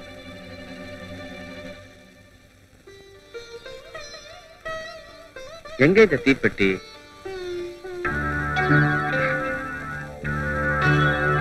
சமையலுக்கும் அதே பெட்டி கற்பூரம் ஏத்துறதுக்கும் அதே பெட்டி? செண்பகம். சோத்த பூரா கொட்டிட்டியா? இன்னைக்கு பூரா உனக்கு என்னாச்சு? ஏதோ படப்படப்பா இருந்ததுங்க. இப்ப சரியா போச்சு. பாவம் முத்து. பசியோட இருக்கான். இந்த ஊர் ஜனங்க வரைக்கும் அந்த காட்டுக்குள்ள போக பயப்படும் போது இவன் மட்டும் தனியா அந்த பங்களாவுக்குள்ள ராத்திரி பூரா படுத்திருந்து வெளியே வந்திருக்கான்னா அங்க சுத்திட்டு இருந்த ஆவியே பறக்கடிச்சிட்டான் தானையா அர்த்தம்? அதெல்லாம் இருக்கட்டும். அவன் மறுபடி அங்க போனான்னா அது அவனை உயிரோட விடாதுங்கிற. அதுதான் இல்லன்றேன் சுவாமி நான் சொல்றேன். அந்த பையன் இருக்கானே. அவன் பயங்கரமான தைரியசாலி. மறுபடியும் அந்த இடத்துக்கு போனான்னா அங்க ஒரு குட்டி பேய கொடுத்துட்டு அத அம்மா பேய் ஆக்கிடுவான் ஐயோ பெரிய பேயை நம்மளால சமாளிக்க முடியல. குட்டி பேய் வேற சேர்ந்துட்டா காடு குட்டிக்கு வராது. அப்படின்றீங்க நீங்க? ஆமாங்க நான். வாங்க தம்பி. உன்னை பத்தி தான் பேசிக்கிட்டே இருக்கிறோம். என்ன பத்தியா? ஒண்ணு இல்ல தம்பி. நீ காட்டு பங்களாவில தங்கி உயிரோட திரும்பினிய. அத பத்தி ஊரே பரபரப்பா பேசுது. ஊர் என்ன பேசுறது? இவரே பேசுறாரு அவ்வளவு பெரிய வாய் இவருக்கு. உருவத்தை பார்த்தாலே தெரியுது. சாமி அம்மா முடியாதாங்கிறத காலையில பாருங்களேன். முத்து உனக்கு எதுக்குப்பா இந்த தேவையில்லாத வேலை? இத பாரு நீ குடும்பஸ்த. நான் ஒண்டிக்கிட்ட. அந்த பேய ஒரு கை பார்த்துட்டேனா இந்த ஊர்ல இருக்கிற மூட நம்பிக்கையை ஒழிச்சங்கிற பெருமையாவது எனக்கு மிஞ்சும் பாரு. ஆ.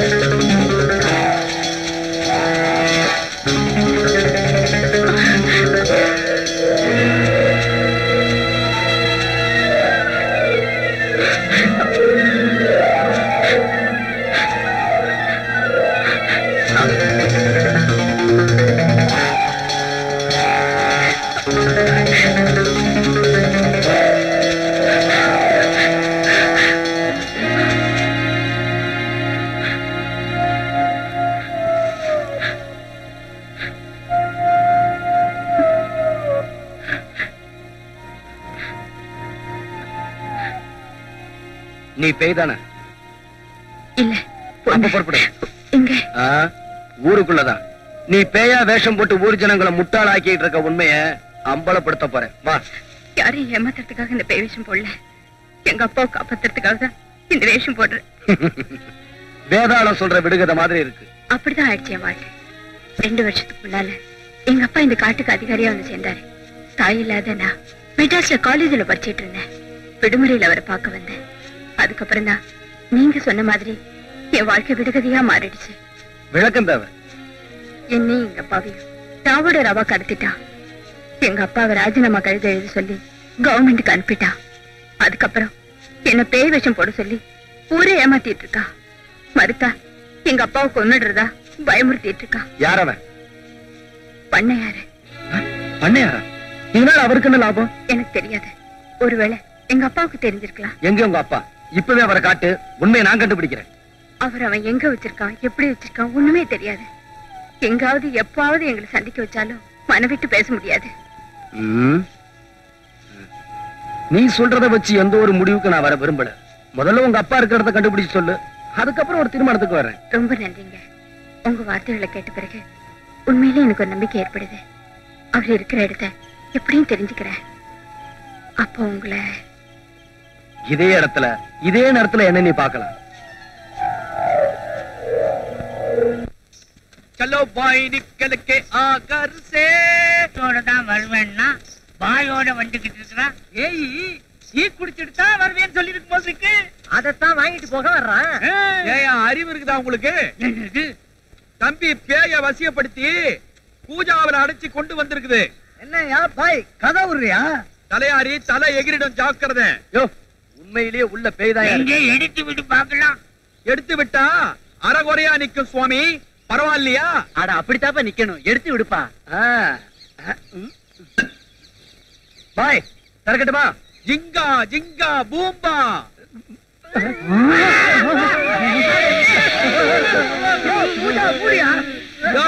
நீங்க தானே பேய அரைகுறையா பார்க்கணும்னு ஆசைப்பட்டீங்க? தெரியாம என் சம்சாரம் ஆண்டாளை தவிர வேற எந்த பொண்ணையும் ஏறெடுத்து பார்க்க மாட்டேன்.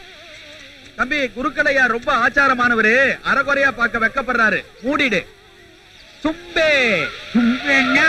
மூடிக்கோன்னு அர்த்தம். அது சரி பேய் எப்படி இதுக்குள்ளார வந்துச்சு? மோகினி பிசாசுக்கு மல்லிகை பூனா ரொம்ப பிடிக்கும். ஒரு ஆளாக்கு குண்டு மல்லிகை வாங்கி பேய் நடமாடுற இடத்துல வசியம் பண்ணி வச்சுட்டேன். அந்த பேய் புகையா மாதிரி உள்ள வந்து உட்காந்துருச்சு ஆமா மேற்கொண்டு இது என்ன செய்யலான்னு உத்தேசம் எங்கேயாவது குழி தோண்டி புதைச்சிடலாம். எங்க புதைக்கலாம்? காதை இப்படி குடு. குடும்பங்கள் இருக்கிற இடமா புதைக்க வேண்டாம். பேசாம டீ கடையில புதைச்சு ஆ டீ கடையில புதைக்கிறது தான் நல்லது. பை பை என்ன காரியம் செய்ய பாக்குறீங்க? பை டீ கடை முன்னாடி போச்சீங்கன்னா கை கால்லாம் நடுங்கும். நீங்க டீ கூட போட முடியாது. வியாபாரமே கெட்டு போயிடும். அதனால ஒரு எழுபத்தஞ்ச வெட்ட. ஐயர் வீட்டுக்கு முன்னாடியே போச்சிருக்கோம். கரி ஐயர் வாசல்ல புதைச்சாதான் மந்திரம் தந்திரம் சொல்லி விரட்டிடுவாரு. பாயி என்ன காழ வாடுற என்ன பாய் ஐம்பது எழுபத்தஞ்சு வாங்கிட்டு உனக்கு பிடிக்காத தலையில கட்டலாம்னு பாக்குறியா? நான் நூறு ரூபாய் தர்றேன். நான் சொல்ற இடத்துல புதைக்கிறியா? எங்க? உன் வீட்டு வாசல்ல. அரே எல்லாம் பின்ன என்னய்யா? தலையை சுத்தி ஆத்துல தூக்கி எறியாம உங்களுடைய சொந்த விரோதத்தை எல்லாம் இதுல காட்ட நினைக்கிறியா சரி சரி விடுங்க. பாய். இது எங்கேயாவது ஊருக்கு வெளியே கொண்டு போய் போட்டுருவா வாங்க. ஏற்பா வண்டியில? உங்க வண்டியிலயா? நடக்கிறதே மேல். நம்பி ஏறுப்பா. ஹாய். பூஜாவுல சாம்பிராணி அடைச்சிக்கிட்டு வந்து பேயினா ஏமாத்துறீங்க. தம்பி இன்னைக்கு சாம்பிராணி புகைய பேயின்னு சொல்லலன்னா ஜனங்கள்லாம் பூதமா மாறி இருப்பாங்க அது சரி. நெஜ பேய் என்னாச்சு? நேத்து பார்த்ததோட சரி. அதுக்கப்புறம் நான் பார்க்கவே முடியல. இந்த பேய் பிடிக்கிற வேலைகள்லாம் விட்டுட்டு கொஞ்சம் புண்ணியமான வேலைகளை செய்வோம் வா.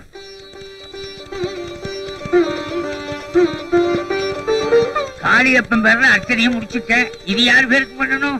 சின்னதுரை.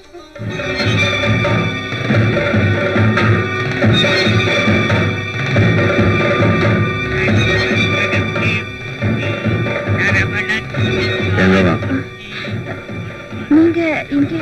அர்ச்சனை பண்ண சின்னதர பேரை சொன்னியே அப்பவே. அது வந்து அது. பேசாம வீட்டுக்கு வாடி. தவகாரத்தாங்க வச்சுக்கலாம். ம்.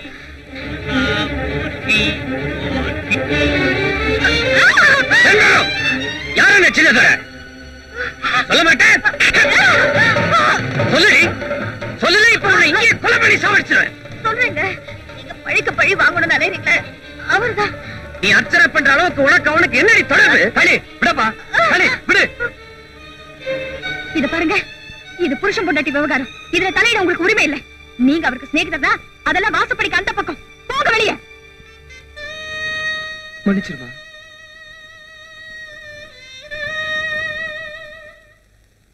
இப்ப சொல்றீங்க. சின்னதொரு உங்க எதிரிதான். ஆனா அவர் உயிரோட இருந்தா தாங்க நான் சுமங்கலியா வாழ முடியும். என்ன வளர்ற? அவரை கொலை பண்ணிட்டு நீங்க தூக்குக்கு போயிடுவீங்க. அதுக்கப்புறம் எனக்கு ஏதுங்க வாழ்க்கை? அதனாலதான் அந்த சின்னதொரு நீண்ட ஆயுசோட இருக்கணும். அவர் உயிருக்கு எந்த ஆபத்து ஏற்படக்கூடாதுன்னு அவர் பேருக்கு அர்ச்சனை பண்ணினேன். செண்பகம் ஆமாங்க. உங்க மனச மாத்த நான் செய்யற எந்த முயற்சிக்கும் பலன் இருக்காதுன்னு. நம்ம முதலிரவனுக்கே நான் முடிவு பண்ணிட்டேன். கணவனை நம்ப முடியாத மனைவி. கடவுளைத்தானே நம்பி ஆகணும் செண்பகம் விரோதிக்காக வேண்டிக்கிட்டேன் ஆத்திரப்பட்டேன வழிய அதனுடைய அர்த்தத்தை புரிஞ்சுக்காம போயிட்டமா என்ன மன்னிச்சிடுமா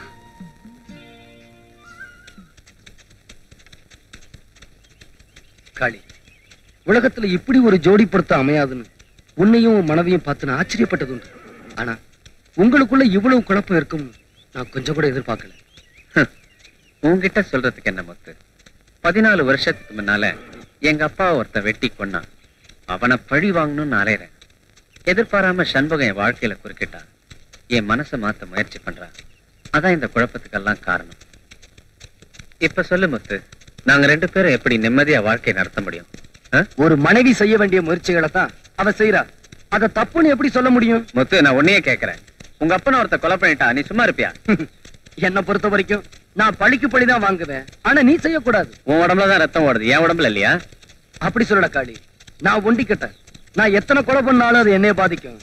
ஆனா நீ குடும்பஸ்தன். உனக்கு ஏதாவது பாதிப்பு ஏற்பட்டா உன்னை நம்பி வந்திருக்கிற ஒரு நல்ல பொண்ணையும் பாதிக்கும்னு சொன்னேன். அதுக்காக அவனை மன்னிச்சிட சொல்றியா? நான் அப்படியும் சொல்லல. உங்க அப்பா ஒருத்தன் கொலை செய்யவே துணிஞ்சிருக்கானா? அதுக்கு ஏன் ஒரு நியாயமான காரணம் இருக்க முடியாது? அப்படின்னா? உங்க அப்பா ஒரு குற்றவாளியா இருந்து அவன் அதுக்கு கொடுத்த ஒரு நியாயமான தண்டனை அது ஏன் எங்க அப்பாவை குற்றவாளின்னு உன்னை தவிர வேற எவனாவது சொல்லியிருந்தானா? இங்க ஒரு கொலையை விழுந்திருக்கும். கொஞ்ச நாள் பழகினாலும் நெருங்கி பழகிட்டோம்ங்கிற காரணத்துக்காக உன்னை விட்டுறேன் உன் நிலைமையும் எனக்கு புரியுது. உன் மனைவியோட தவிப்பு எனக்கு தெரியுது. உன் மனசை சமாதானப்படுத்ததான் அப்படி சொன்னேன். தப்பா இருந்தா சந்திக்க வைக்கிறேன்னு சொல்லியிருக்கா. இன்னும் கூட நான் நம்புறேன். பண்ணையார் தவறான எந்த நோக்கத்திலும் இந்த காரியத்தை செஞ்சிருக்க மாட்டாருன்னு அது உங்க விசுவாசத்தை காட்டுது. ஆனா நிச்சயமா அதுக்குண்டான தகுதி அவனுக்கு இல்லைங்கிறத கூடிய சீக்கிரம் புரிஞ்சுக்குவீங்க. அது சரி. இத போட்டு எதுக்குது முதல் சந்திப்புல உன்னை அவமானப்படுத்திட்டேல அதுக்கு நஷ்ட ஈடு.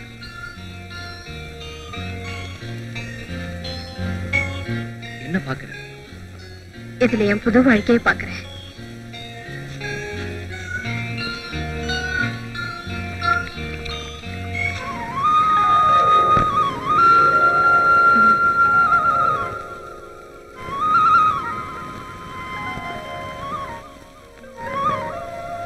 நிஜமா சொல்றேன் இப்ப நீ வனதேவதை மாதிரி இருக்க.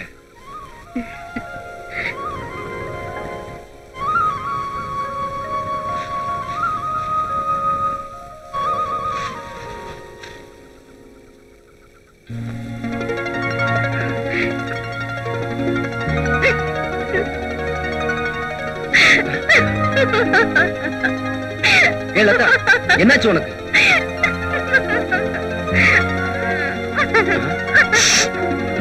ஐயோ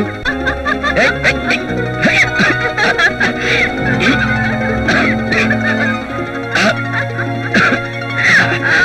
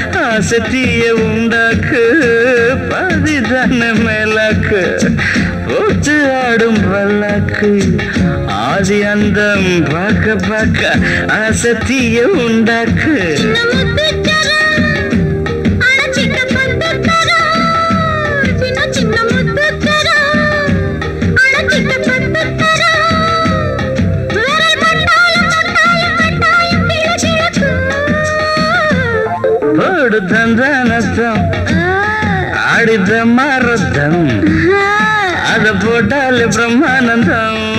அடிமானே. ஏது ஏது.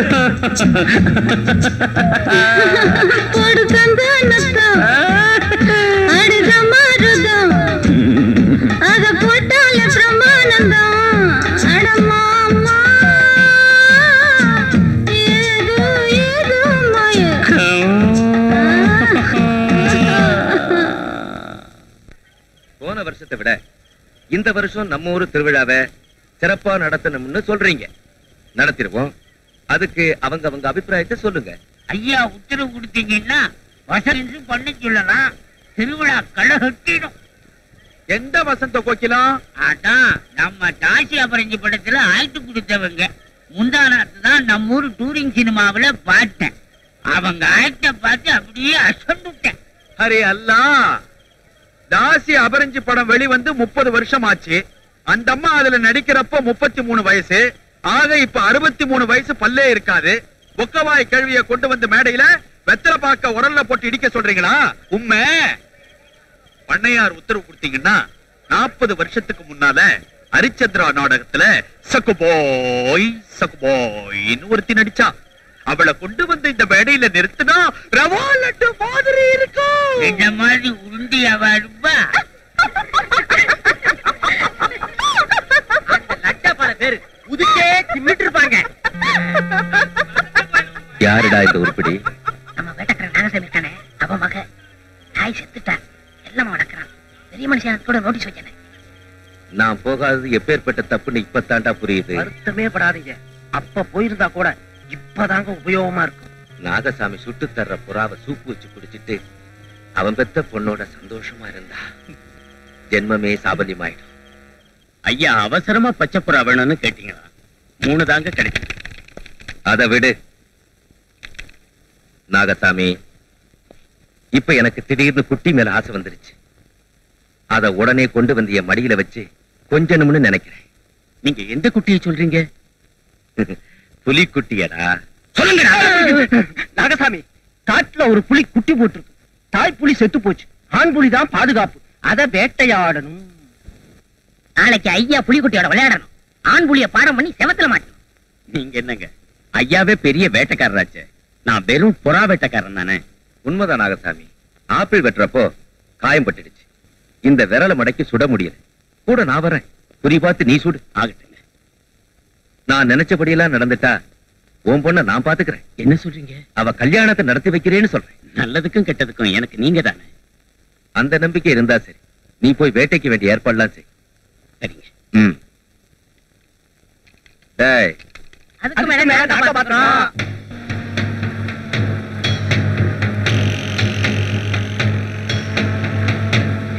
நிறுத்துங்க. புலி இங்க எங்கேயோ தான் நடமாடிக்கிட்டு இருக்கு. ம். அப்படியா? இந்த துப்பாக்கி. இறங்கி போய் தேடிப்பா. கண்ணுல பட்டா சுட்டுரு. ஆ.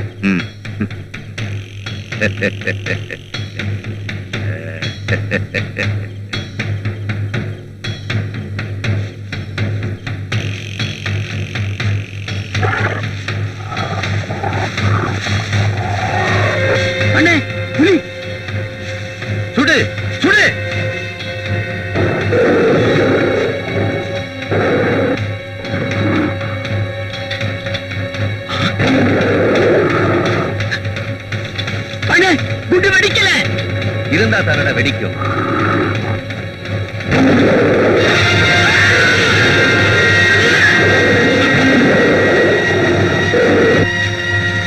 இனிமே ஓம் பொண்ண நான் பாத்துக்கிறேன். நீ நிம்மதியா சாவு.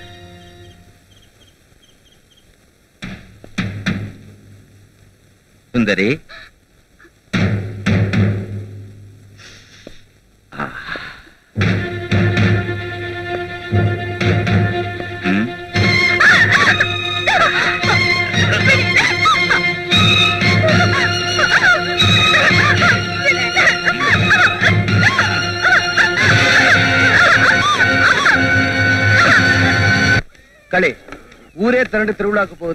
நீங்க மட்டும் இங்க இருந்தா என்ன அர்த்தம்? பாப்பா மனசுக்கு நிம்மதி இருக்கிறவங்களுக்கு தான் தேரும் திருவிழாவும். அதான் எனக்கு இல்லையே. இல்ல வெளிய போனாதானே கிடைக்கும். சரி உனக்காக வரேன். இப்படியே வா. திருவிழாவை நான் தான் பார்க்க போறேன். திருவிழாவை என்ன பார்க்க போகுது? சும்மா வாப்பா. செண்பகம்? தயாரா வந்துட்டேங்க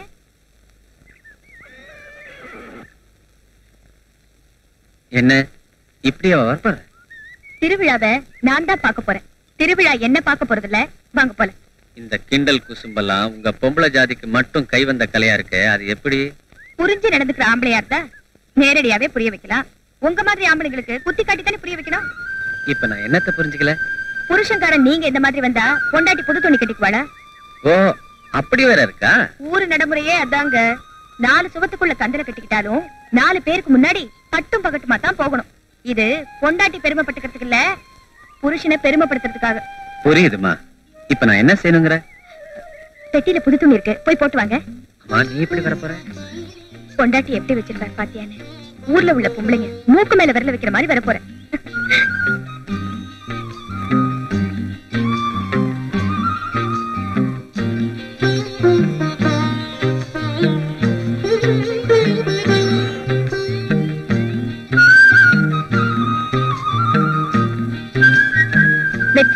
எனக்கு தான் வெற்றி. உனக்கு வெற்றினா எனக்கும் வெற்றி தான் போலாமா? உண்மையிலே எனக்கு தான் வெற்றி. உங்க ரெண்டு பேரையும் மணமக்கள் குலத்துல வர வச்சிருக்கனே அது எனக்கு வெற்றி இல்லையா? நிஜமா சொல்றேன். உங்க ரெண்டு பேரையும் இந்த குளத்துல பாக்குறப்போ பாக்குறப்போ? அஹ், செண்பகம் மாதிரி தங்கச்சி உன்ன மாதிரி மச்சானி இல்லைன்னு ஏக்கம் தட்டுது காளி. நீ ஏங்குற அளவுக்கா நாங்க இருக்கோம்? கொஞ்சம் முன்னால சொன்னீங்களே திருவிழாவை நாங்க பார்க்க போறோம். திருவிழாவா எங்களை பார்க்க போகுதுன்னு. இப்படியே போனீங்கன்னா திருவிழாவே உங்களை தான் பார்க்கும். அப்படி ஒரு ஜோடி பொருத்தம். பொருத்த உருவத்திற்கு சந்தோஷம். சரி சரி வாங்க போலாம்.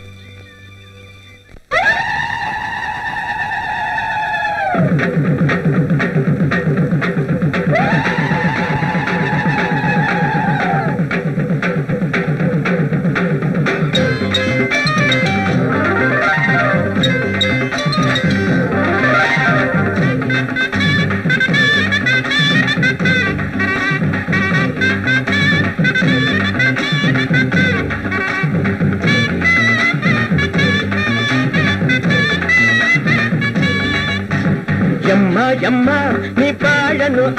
ஆனந்தம்மா அடியே இச்சம்மா எம்மா நீ பாழனு ஆனந்தம்மா.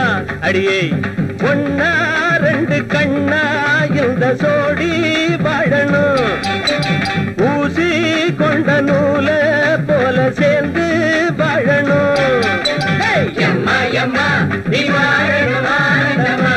அடியே எம்மா எம்மா நீ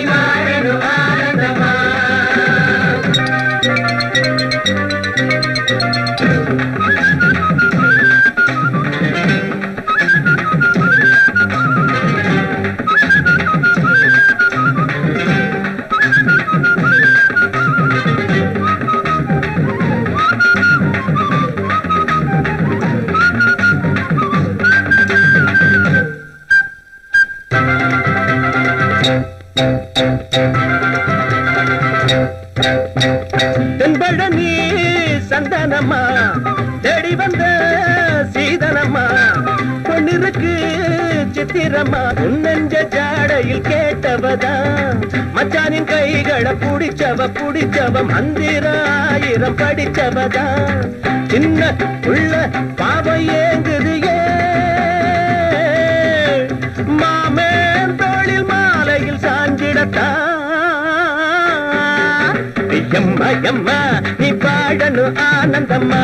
அடியே. எம்மா எம்மா நீ பாடணும் ஆனந்தம்மா. அடியே.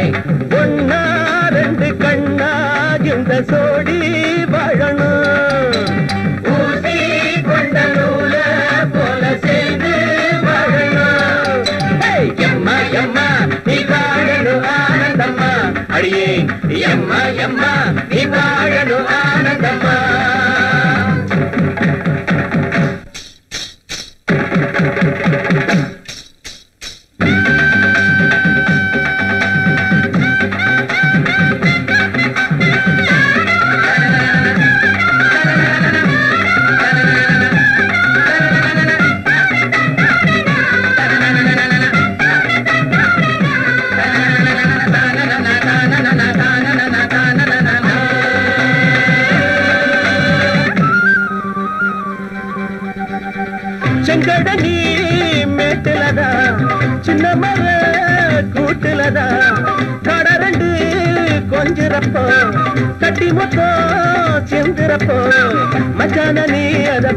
பார்த்துட்டு பார்த்துட்டு மம்மதம் பாட்டையும் கேட்டதுண்டோ?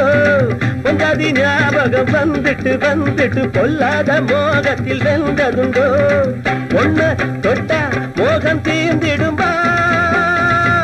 இங்கு வாழுது பூங்குயில் தான்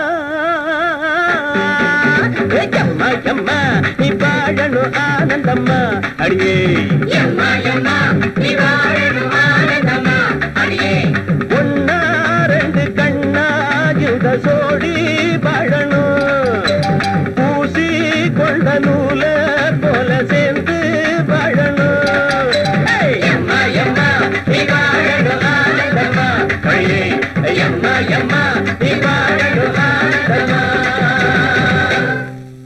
வந்தியே ஏதாவது தனியா பேச போறோமா? அதுக்கு தான் நான் உன்னை இங்க கூட்டிட்டு வந்திருக்கேன். நான் கேட்க போறத மறுக்காம செய்வேன் வாக்கு கொடுக்குறேன். செண்பகத்துக்கு கடைசனா இருந்து அவளை காப்பாத்தணும். முடியுமா? களி. ஆமா முத்து. நான் நாளைக்கே அந்த சின்னதுரை வெட்டிட்டு ஜெயிலுக்கு போயிட்டா செண்பகம் அனாதை ஆயிடுவா. அந்த சின்னதுரையோட விடுதலை நான் நெருங்க நெருங்க வேதனை என்னை வாட்டிக்கிட்டே. நீ சம்மதம் சொன்னா நான் நிம்மதியா இருப்பேன். எனக்கு புரிஞ்சிடுச்சுன்னு அர்த்தம். என்ன சொல்ற நீ? கட்டின மனைவி அனாதையா விட்டுட்டு ஜெயிலுக்கு போறமேனு நெஞ்சு உறுத்தி இருக்கும். அதை நிறுத்தறதுக்காக உங்க நண்பர் அண்ணன் ஆக்கிட்டீங்க.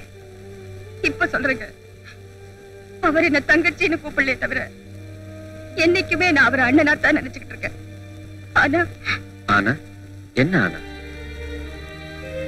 ஒரு பொண்ணுக்கு அப்பா அம்மா அண்ணன் தம்பின்னு ஆயிரம் சொந்தங்களை கொண்டு வந்து நிறுத்தினாலும் அவ பெத்த குழந்தைக்கு ஈடாகாதுங்க. கேள்விப்பட்டதுல கழுத்து புருஷன் சோறு போடாட்டாலும் வயித்து புருஷன் கஞ்சி ஊத்துவான்னு. அப்படி ஒண்ணு என் வயித்துல உண்டாயிருந்தா கூட அதை பார்த்து நான் சந்தோஷப்பட்டிருப்பேங்க. என் புள்ள கொலகார மகன் ஒரு பட்டத்தை சுமந்துக்க நான் விரும்பல.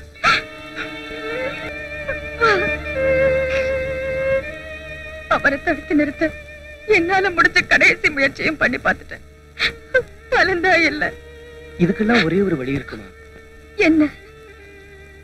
நான் யாருங்கிறத காளிகிட்ட சொல்லி அவன் கையால நான் செத்துட்டா இந்த பிரச்சனைக்கெல்லாம் ஒரு முடிவு ஏற்படும்.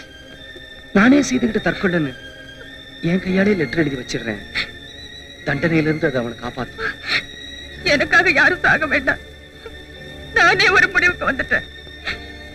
அவருக்கு ஏதாவது ஒண்ணு ஆயிடுச்சுன்னா அந்த நிமிஷமே நான் சாகிறதுன்னு தீர்மானிச்சேன்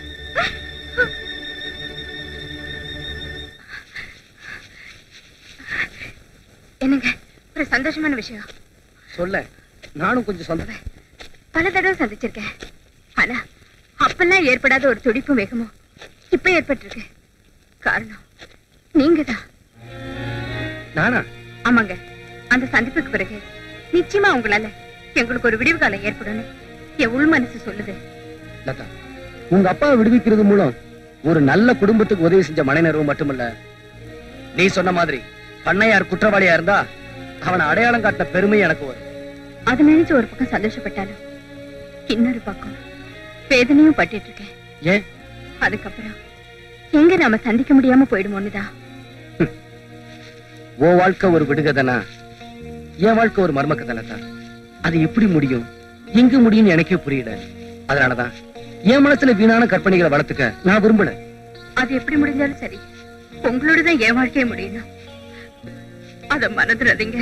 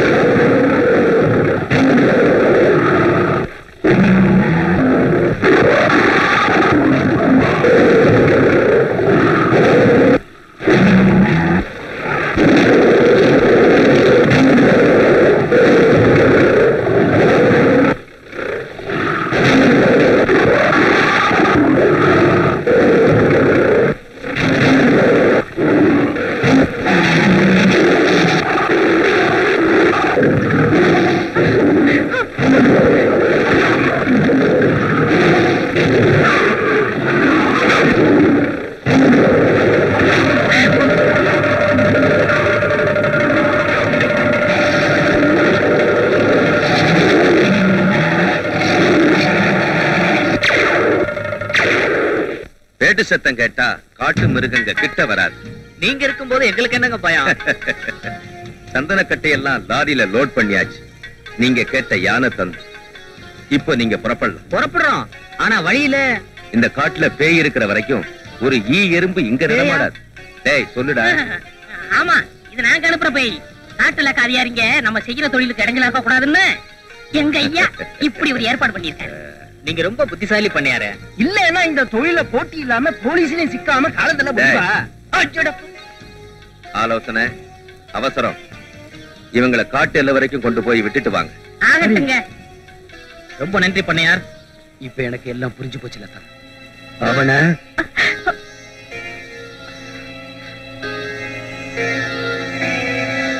இந்த கடத்தல் தொழிலுக்கு உன்னையும் உங்க அப்பாவையும் கருவியா பயன்படுத்தியிருக்கான் பண்ண. நாளைக்கு அதுக்கு முடிவு கட்டு. ஏய், எங்கடா உங்க பண்ண? அண்ணையா என்னப்பா பேச்செல்லாம் ஒரு மாதிரியா இருக்கு. பேசுறதுக்கு நேரம் இல்ல முதல்ல வர சொல்லு. முத்து என்ன விஷயம்? இங்கேயே பேசலாமா? இல்ல நான் பேச வந்தது நீங்க செய்யற கடத்தல் தொழிலை பத்தி. முத்து. அரசாங்க சொத்துக்களை காட்டுல இருந்து கொள்ளையடிக்கிறது உங்க தொழில். காட்டு பக்கம் யாருமே வராம இருக்க பேய் வேஷம் போட ஒரு பொண்ணு. அவ உங்க கைதி. அவங்க தகப்பனுக்கு ஜெயில். இதையெல்லாம் தெரிஞ்சுக்காம உங்களை நம்ப ஒரு கிராமம். இதெல்லாம் உனக்கு எப்படி தெரியும்? சத்தியம். நெருப்பு மாதிரி. அதை எதை போட்டு மூடினாலும் புகையா மாறி உண்மையை வெளிப்படுத்தாம விடாது பண்ணையார். இதை இப்பவே ஊரறிய சொல்லி இருப்பேன் வேலை கொடுத்து ஆதரிச்ச நன்றி கடனுக்காக எச்சரிக்கை பண்ண வந்திருக்கேன். என்ன எச்சரிக்கை? இன்னையோட உங்க கடத்தல் தொழிலுக்கு மூட்டை கட்டணும். பேயா அலைய விட்டுருக்கீங்களே. அந்த பொண்ணோட தகப்பனுக்கு உடனே விடுதலை கொடுக்கணும். தவறினா? போலீஸ் இதெல்லாம் உன்னை உயிரோட விட்டா தானே இப்படி செய்வீங்கன்னு எனக்கு நல்லா தெரியும். முப்பது நிமிஷத்துல நான் திரும்பி வரலனா பண்ணையாரால என் உயிருக்கு ஆபத்துன்னு அர்த்தம். முப்பத்தோராவது நிமிஷம் போலீஸ் கிட்ட போய் சொல்லுன்னு லதா கிட்ட சொல்லியிருக்கேன். நான் இப்ப வந்து பத்து நிமிஷம் ஆச்சு. உனக்கு தேவையான பணத்தை கொடுக்கறேன். பண்ணையார் பதினோரு நிமிஷம் ஆச்சு. சரி சரி. லதா அப்பாவ நீ சொல்ற இடத்துல நாளை காலையில நானே கொண்டு வந்து ஒப்படைக்கிறேன். சம்மதிக்கிறேன். இதுல ஏதாவது சூதோ சூழ்ச்சியோ இருந்தா உங்களுக்கு தான் ஆபத்து. நாளை காலையில பொய்மான் கரண்டு கிட்ட காத்துக்கிட்டு இருப்பேன். சொன்னபடி செய்யுங்க. ஆலோசனை. பூச்செடி நினைச்சு முள்ளுச்செடி வளர்த்துட்டா கவலைப்படாதீங்க. வேரோட வெட்டிடலாம். அத விடியறதுக்குள்ள செஞ்சாகணும். அண்ணா அவரை எங்கேயாவது பாத்தியா என்ன விஷயம்? காலையில இருந்து அவர் காணும். காலையில இருந்து காணமா? எங்க போயிருப்பான்? கட்சிய காணா. இப்பதான் ஞாபகம் வருது. இன்னைக்கு நான் விடுதலை ஆகிற நாள். அப்படின்னா? என்ன தேடி உன் புருஷன் ஜெயிலுக்கு தான் போயிருப்பான். ஆமாப்பா. காந்தி ஜெயந்தியை முன்னிட்டு நன்னடத்த கைதிகள் எல்லாரையும் முன்னாடியே விடுதலை பண்ணிட்டாங்க. அவன் எங்க போயிருப்பான் சொல்ல முடியுமா? விடுதலையானவங்களுக்கு விரும்புற இடத்துக்கு டிக்கெட் எடுத்து கொடுக்கறது வழக்கம். குமாரபுரம் போனதா ஞாபகம். குமாரபுரம். நீ எந்த தேதியில விடுதலையான? எந்த ஊருக்கு புறப்பட்டு போனேங்கிற விவரம் அங்க அவருக்கு தெரிஞ்சு போச்சுன்னா நிச்சயம் அவர் சந்தேகம் உன் மேலதான் திரும்பும். அதனால அவர் வரத்துக்குள்ள இந்த ஊரை விட்டு போயிடு. போறேன் ஒரு மூணு மாசத்துக்காவது உன்னோட இருக்கிற சந்தர்ப்பம் கிடைச்சதே. அந்த சந்தோஷத்தோட போறேன். ஆனா ஒண்ணுமா? அவன்கிட்ட பழி வாங்குற வெறி மட்டும் இல்லைனா உனக்கு அவனை விட சிறந்த கணவன் அமையவே முடியாது. அவர் இத்தனை நாள்ல கொஞ்சமாவது இழக்கிருந்தாருன்னா நீதான் என் அண்ணன். அவங்க அப்பாவை நீ எதுக்காக கொலை பண்ணேங்கிற விஷயத்த எடுத்து சொல்லிருப்ப. கடைசி வரைக்கும் அதுக்கு இடமே இல்லாம போச்சு. உன் விதிப்படி நடக்கட்டும்னு சொல்றத தவிர நான் சொல்ல வேற என்ன இருக்கு? வரமா. நில்லுண்ணா. எங்க போற? எங்கன்னு இன்னும் தீர்மானிக்கல. நான் எங்க போனாலும் நாளைக்கு தான் போவேன். ஏன்? என்ன நம்பி ரெண்டு உயிர்கள் இருக்கு? அவங்கள காப்பாத்த வேண்டிய கடமை எனக்கு இருக்கு. ஆனா நிச்சயமா நான் போற வரைக்கும் உன் புருஷன் கண்ணுல படவே மாட்டோமா தைரியமா இருமா என்னேஜமா எடுத்து துப்பாக்கி உள்ள வச்சுட்டீங்க? அந்த முள்ளுச் செடியை நாம வெட்டி எறிய வேண்டிய அவசியம் இல்லை. என்ன சொல்றீங்க? அதை வெட்டுறதுக்கு தான் கத்தியும் கையுமா அலைகிறான் காளி. அவனே அந்த காரியத்தை முடிச்சிருவான். எங்க காளி போயிட்டு வர? ஜெயிலுக்கு. ஓ உங்க அப்பனை கொண்டவனை தேடி போனியா? ஆமா. அவன் அங்க இருந்திருக்க மாட்டானே? அது எப்படி உங்களுக்கு தெரியும்? எதிரிய வீட்டுல வச்சுக்கிட்டு நீ எங்கேயோ போய் தேடிக்கிட்டு இருந்தா எப்படி கிடைப்பான்? நீங்க யார சொல்றீங்க? முத்துங்கிற பேர்ல உன் நண்பனா? உன் பொஞ்சாதிக்கு அண்ணனா? உன் வீட்டுல இருக்கானே? அவன்தான் உன் விரோதி. அது மட்டும் இல்ல அவனுடைய சொந்த தங்கச்சி தான் செம்பகம். இருக்க? இருக்கவும் முடியாது. அவன் அப்படிப்பட்டவன் போய் உன் பொண்டாட்டிய கேளு. அது உண்மைன்னா காட்டுல தலைமறைவா இருக்கிறவனை தீர்த்து கட்டி என்ன சொன்னீங்க? எனக்கும் உங்க நண்பருக்கும்? கள்ளத் தொடர்பு இருக்குன்னு சொன்னேன். அவரை என் அண்ணன்னு சொன்ன அதே வாயால இப்படி ஒரு அபாண்டத்தை சுமத்துறீங்களே. கடவுளே. நான் ஜெயிலுக்கு போயிட்டா நீ அவனோட வாழ்க்கை நடத்துறதா முடிவு பண்ணிருக்க. இல்ல? ஐயோ இன்னொரு தடவை அந்த வார்த்தையை சொல்லாதீங்க. அவர் என் அண்ணன். கூட பிறந்த அண்ணன். அப்ப எதுக்காக இதை இத்தனை நாள் நீ மறைச்சு வச்சிருந்த? என்ன நெஞ்செழுத்துறது இருந்தா நீ இதை என்கிட்ட இருந்து மறைச்சிருப்ப? மறைச்சங்க. நீங்க ரெண்டு பேரும் சந்திக்கவே கூடாதுன்னு தான் நினைச்சேன். ஆனா நண்பர்களா வந்து நின்னுட்டீங்க. ஆடும் புலியும் எத்தனை நாளைக்கு தான் நட்போட பழக முடியும்? அதனாலதான் இப்படி ஒரு நாடகம் ஆட வேண்டிய நிலைமை ஏற்பட்டுருச்சு இத கண்டுபிடிக்க தான் நானும் இப்படி ஒரு பழிய மேல சுமத்தினேன். அவன நான் உங்களை போக விட மாட்டேன். என் லட்சத்துக்கு நீ தடையா இருந்த உன்னை வெட்டி எரியவும் தயங்க மாட்டேன்! என்ன சொல்றீங்க? நீதான் சின்ன துறன்னு காளிக்கு தெரிஞ்சு போச்சு. உன் மேல உள்ள ஆத்திரத்துல உன் தங்கச்சிய உன் தங்கச்சிய என் தங்கச்சிய? சொல்லு! என் தங்கச்சிக்கு என்னாச்சு? அவளை துடிக்க துடிக்க ஈவிரக்கம் இல்லாம கொண்டுட்டான்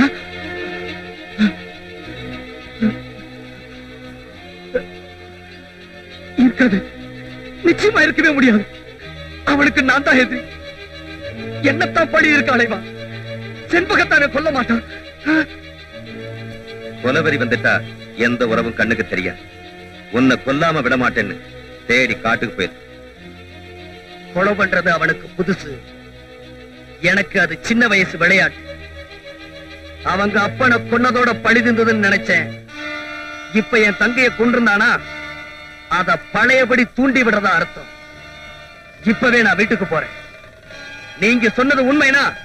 அவனை கண்ட துண்டமா வெட்டி எரிஞ்சாத்தான் அந்த பகதீரும் வரேன். என்னடா ஆலோ காதலையே அவ அப்பனையும் கூட்டிட்டு போக வந்தவன். இப்ப குலவெறியோட போறான்? அவசரம். பழி தீர்த்துக்க ஒருத்தன் ஒருத்தன் தேடி அலைவான். ரெண்டு பேரும் சந்திக்கும் போது ஒருத்தன் கையால இன்னொருத்தனுக்கு சாவு. இதுல எவன் தப்பிச்சாலும் அவனை போலீஸ் தூக்கல போட தயாரா இருக்கு. அதுக்கப்புறம் லதா பழையபடி உங்ககிட்ட சரணாகதி தான் நம்ம தொழில எந்தவித தடங்களும் இல்லாம தொடங்கிடலாம். உங்க திட்டமே திட்டம் தான் செண்பகம்? செண்பகம்?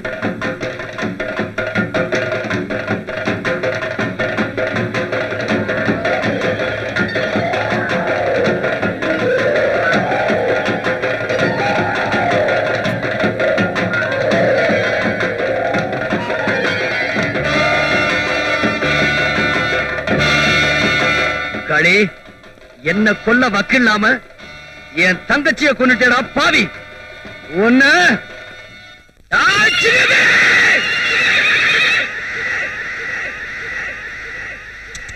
you.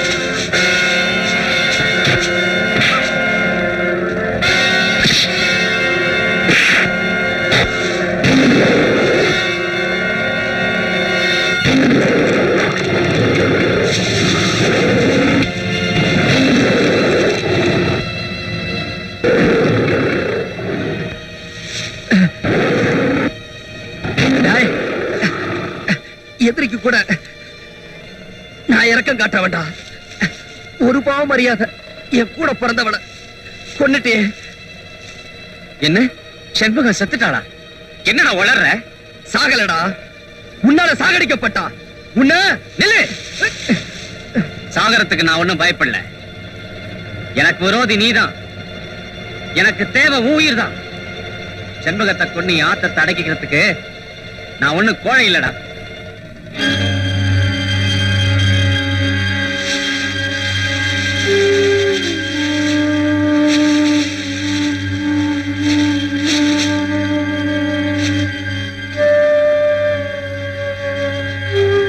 செண்பகம் உன் தங்கச்சி மட்டும் இல்ல என் மனைவி கூட. உன்னை நான் வெறுக்கிறேன். ஆனா என் மனைவிய இப்போ நான் நேசிக்கிறேன். அவளை கொன்னவனுடைய குடலை நான் உருவாம விட மாட்டேன். நம்புறேன். ஆனா ஒண்ணு நீ சொன்ன மாதிரி என் தங்கையை நீ கொல்லாம இருந்தா அடுத்த நிமிஷத்துல என்ன கொல்லுவான் வெறி எத்தித்துக்க உன்னால அவளுக்கு ஏதாவது முடிவு ஏற்பட்டிருந்தா உங்க அப்பனை கொன்ன மாதிரி உன்னை சீவி எரிஞ்சிருவேன். ஞாபகத்துல வச்சுக்க. என்ன விஷயம்? பண்ணியார அவர் ஆட்களை சேர்ந்து உங்க தங்கச்சியை கடத்திட்டு போயிட்டாங்க. எங்க அப்பா அடிச்சு வச்சிருக்கிற அதே இடத்துல அவளே பூட்டி வச்சிருக்காங்க.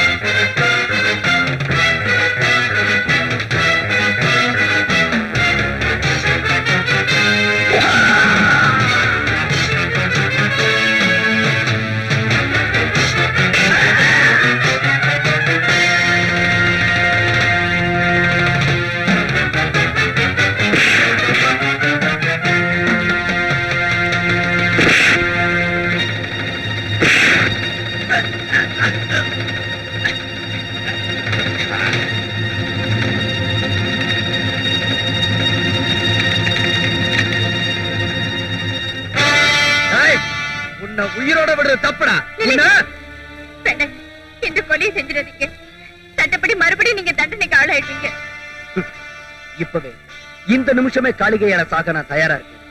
அதுலதான் அவனுக்கு ஆத்ம திருப்தி. அப்பதான் அவனுக்கு கொடுத்த வாக்குறுதியை நான் காப்பாத்த முடியும். சாக போறேன்னா இந்த ஊருக்கு செய்யற நல்ல காரியமா? இவனை கொன்னுட்டு சாகுறேன் தடுக்காத. என்னதர காளிகையால சாக போற. எதுக்குப்பா? பதினாலு வருஷத்துக்கு முன்னால அவங்க அப்பா சின்னசாமி கவுண்டர நான் கொலை பண்ணதுக்காக. அப்படின்னா ராஜகவுண்டர் பிள்ளையா நீ? ஆமா. அதை நீங்க எப்படி கண்டுபிடிச்சீங்க? அந்த வழக்குல சம்பந்தப்பட்ட காட்லாக அதிகாரியே நான் தானப்பா. அப்ப அப்ப நடந்ததெல்லாம் இப்ப கண்ணு முன்னாலேயே இருக்கு.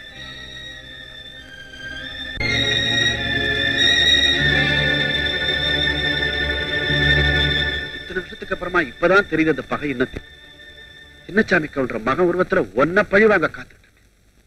ஆனா நிச்சயமா சொல்றேன் காளி நீ பழி தீர்த்துக்கிறத நியாயமும் இல்ல சின்னதொர பழி வாங்கப்பட வேண்டிய ஆளும் இல்ல. இதுவரைக்கும் இந்த உண்மைகள்லாம் சத்தியமா எனக்கு தெரியாது. தெரிஞ்சிருந்தா? சின்னதுரை நான் மன்னிச்சிருப்பேன்.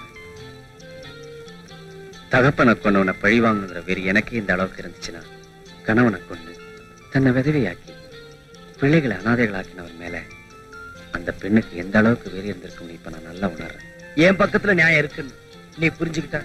அது போதும். சின்னதுரை காளி.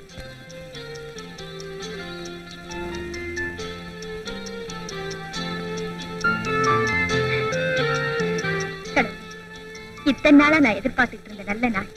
இன்னைக்கு தான் வந்திருக்கு.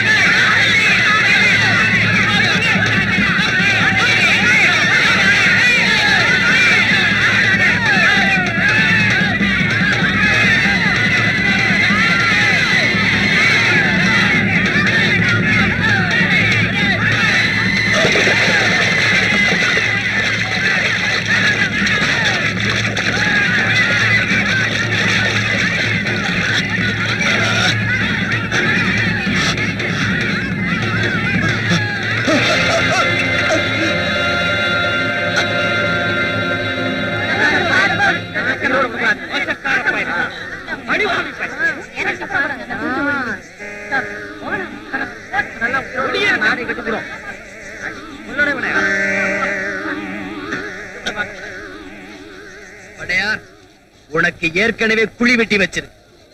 இதுல தான்டா நாங்க உனக்கு சமாதி கட்ட போறோம். நில்லுங்கப்பா.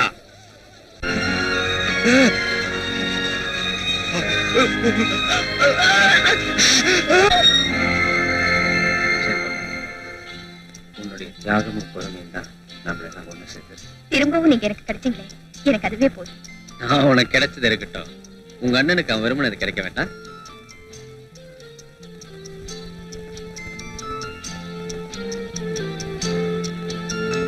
பாய் நல்ல நேரத்துக்கு வந்தீங்க இவங்களை வாழ்த்துங்க. அல்லாஹ்வுடைய கருணையினால இவங்க எல்லா சுகத்தையும் பெற்று எல்லாரும் பல்லாண்டு வாழ்க வாழ்கன்னு வாழ்த்துறேன். அவங்க சின்ன சிறுசுங்க எப்படியாவது விளையாடி? போறமா வேற? சலோ பாய் நிக்கலுக்கே ஆகரு சே ஆகரு.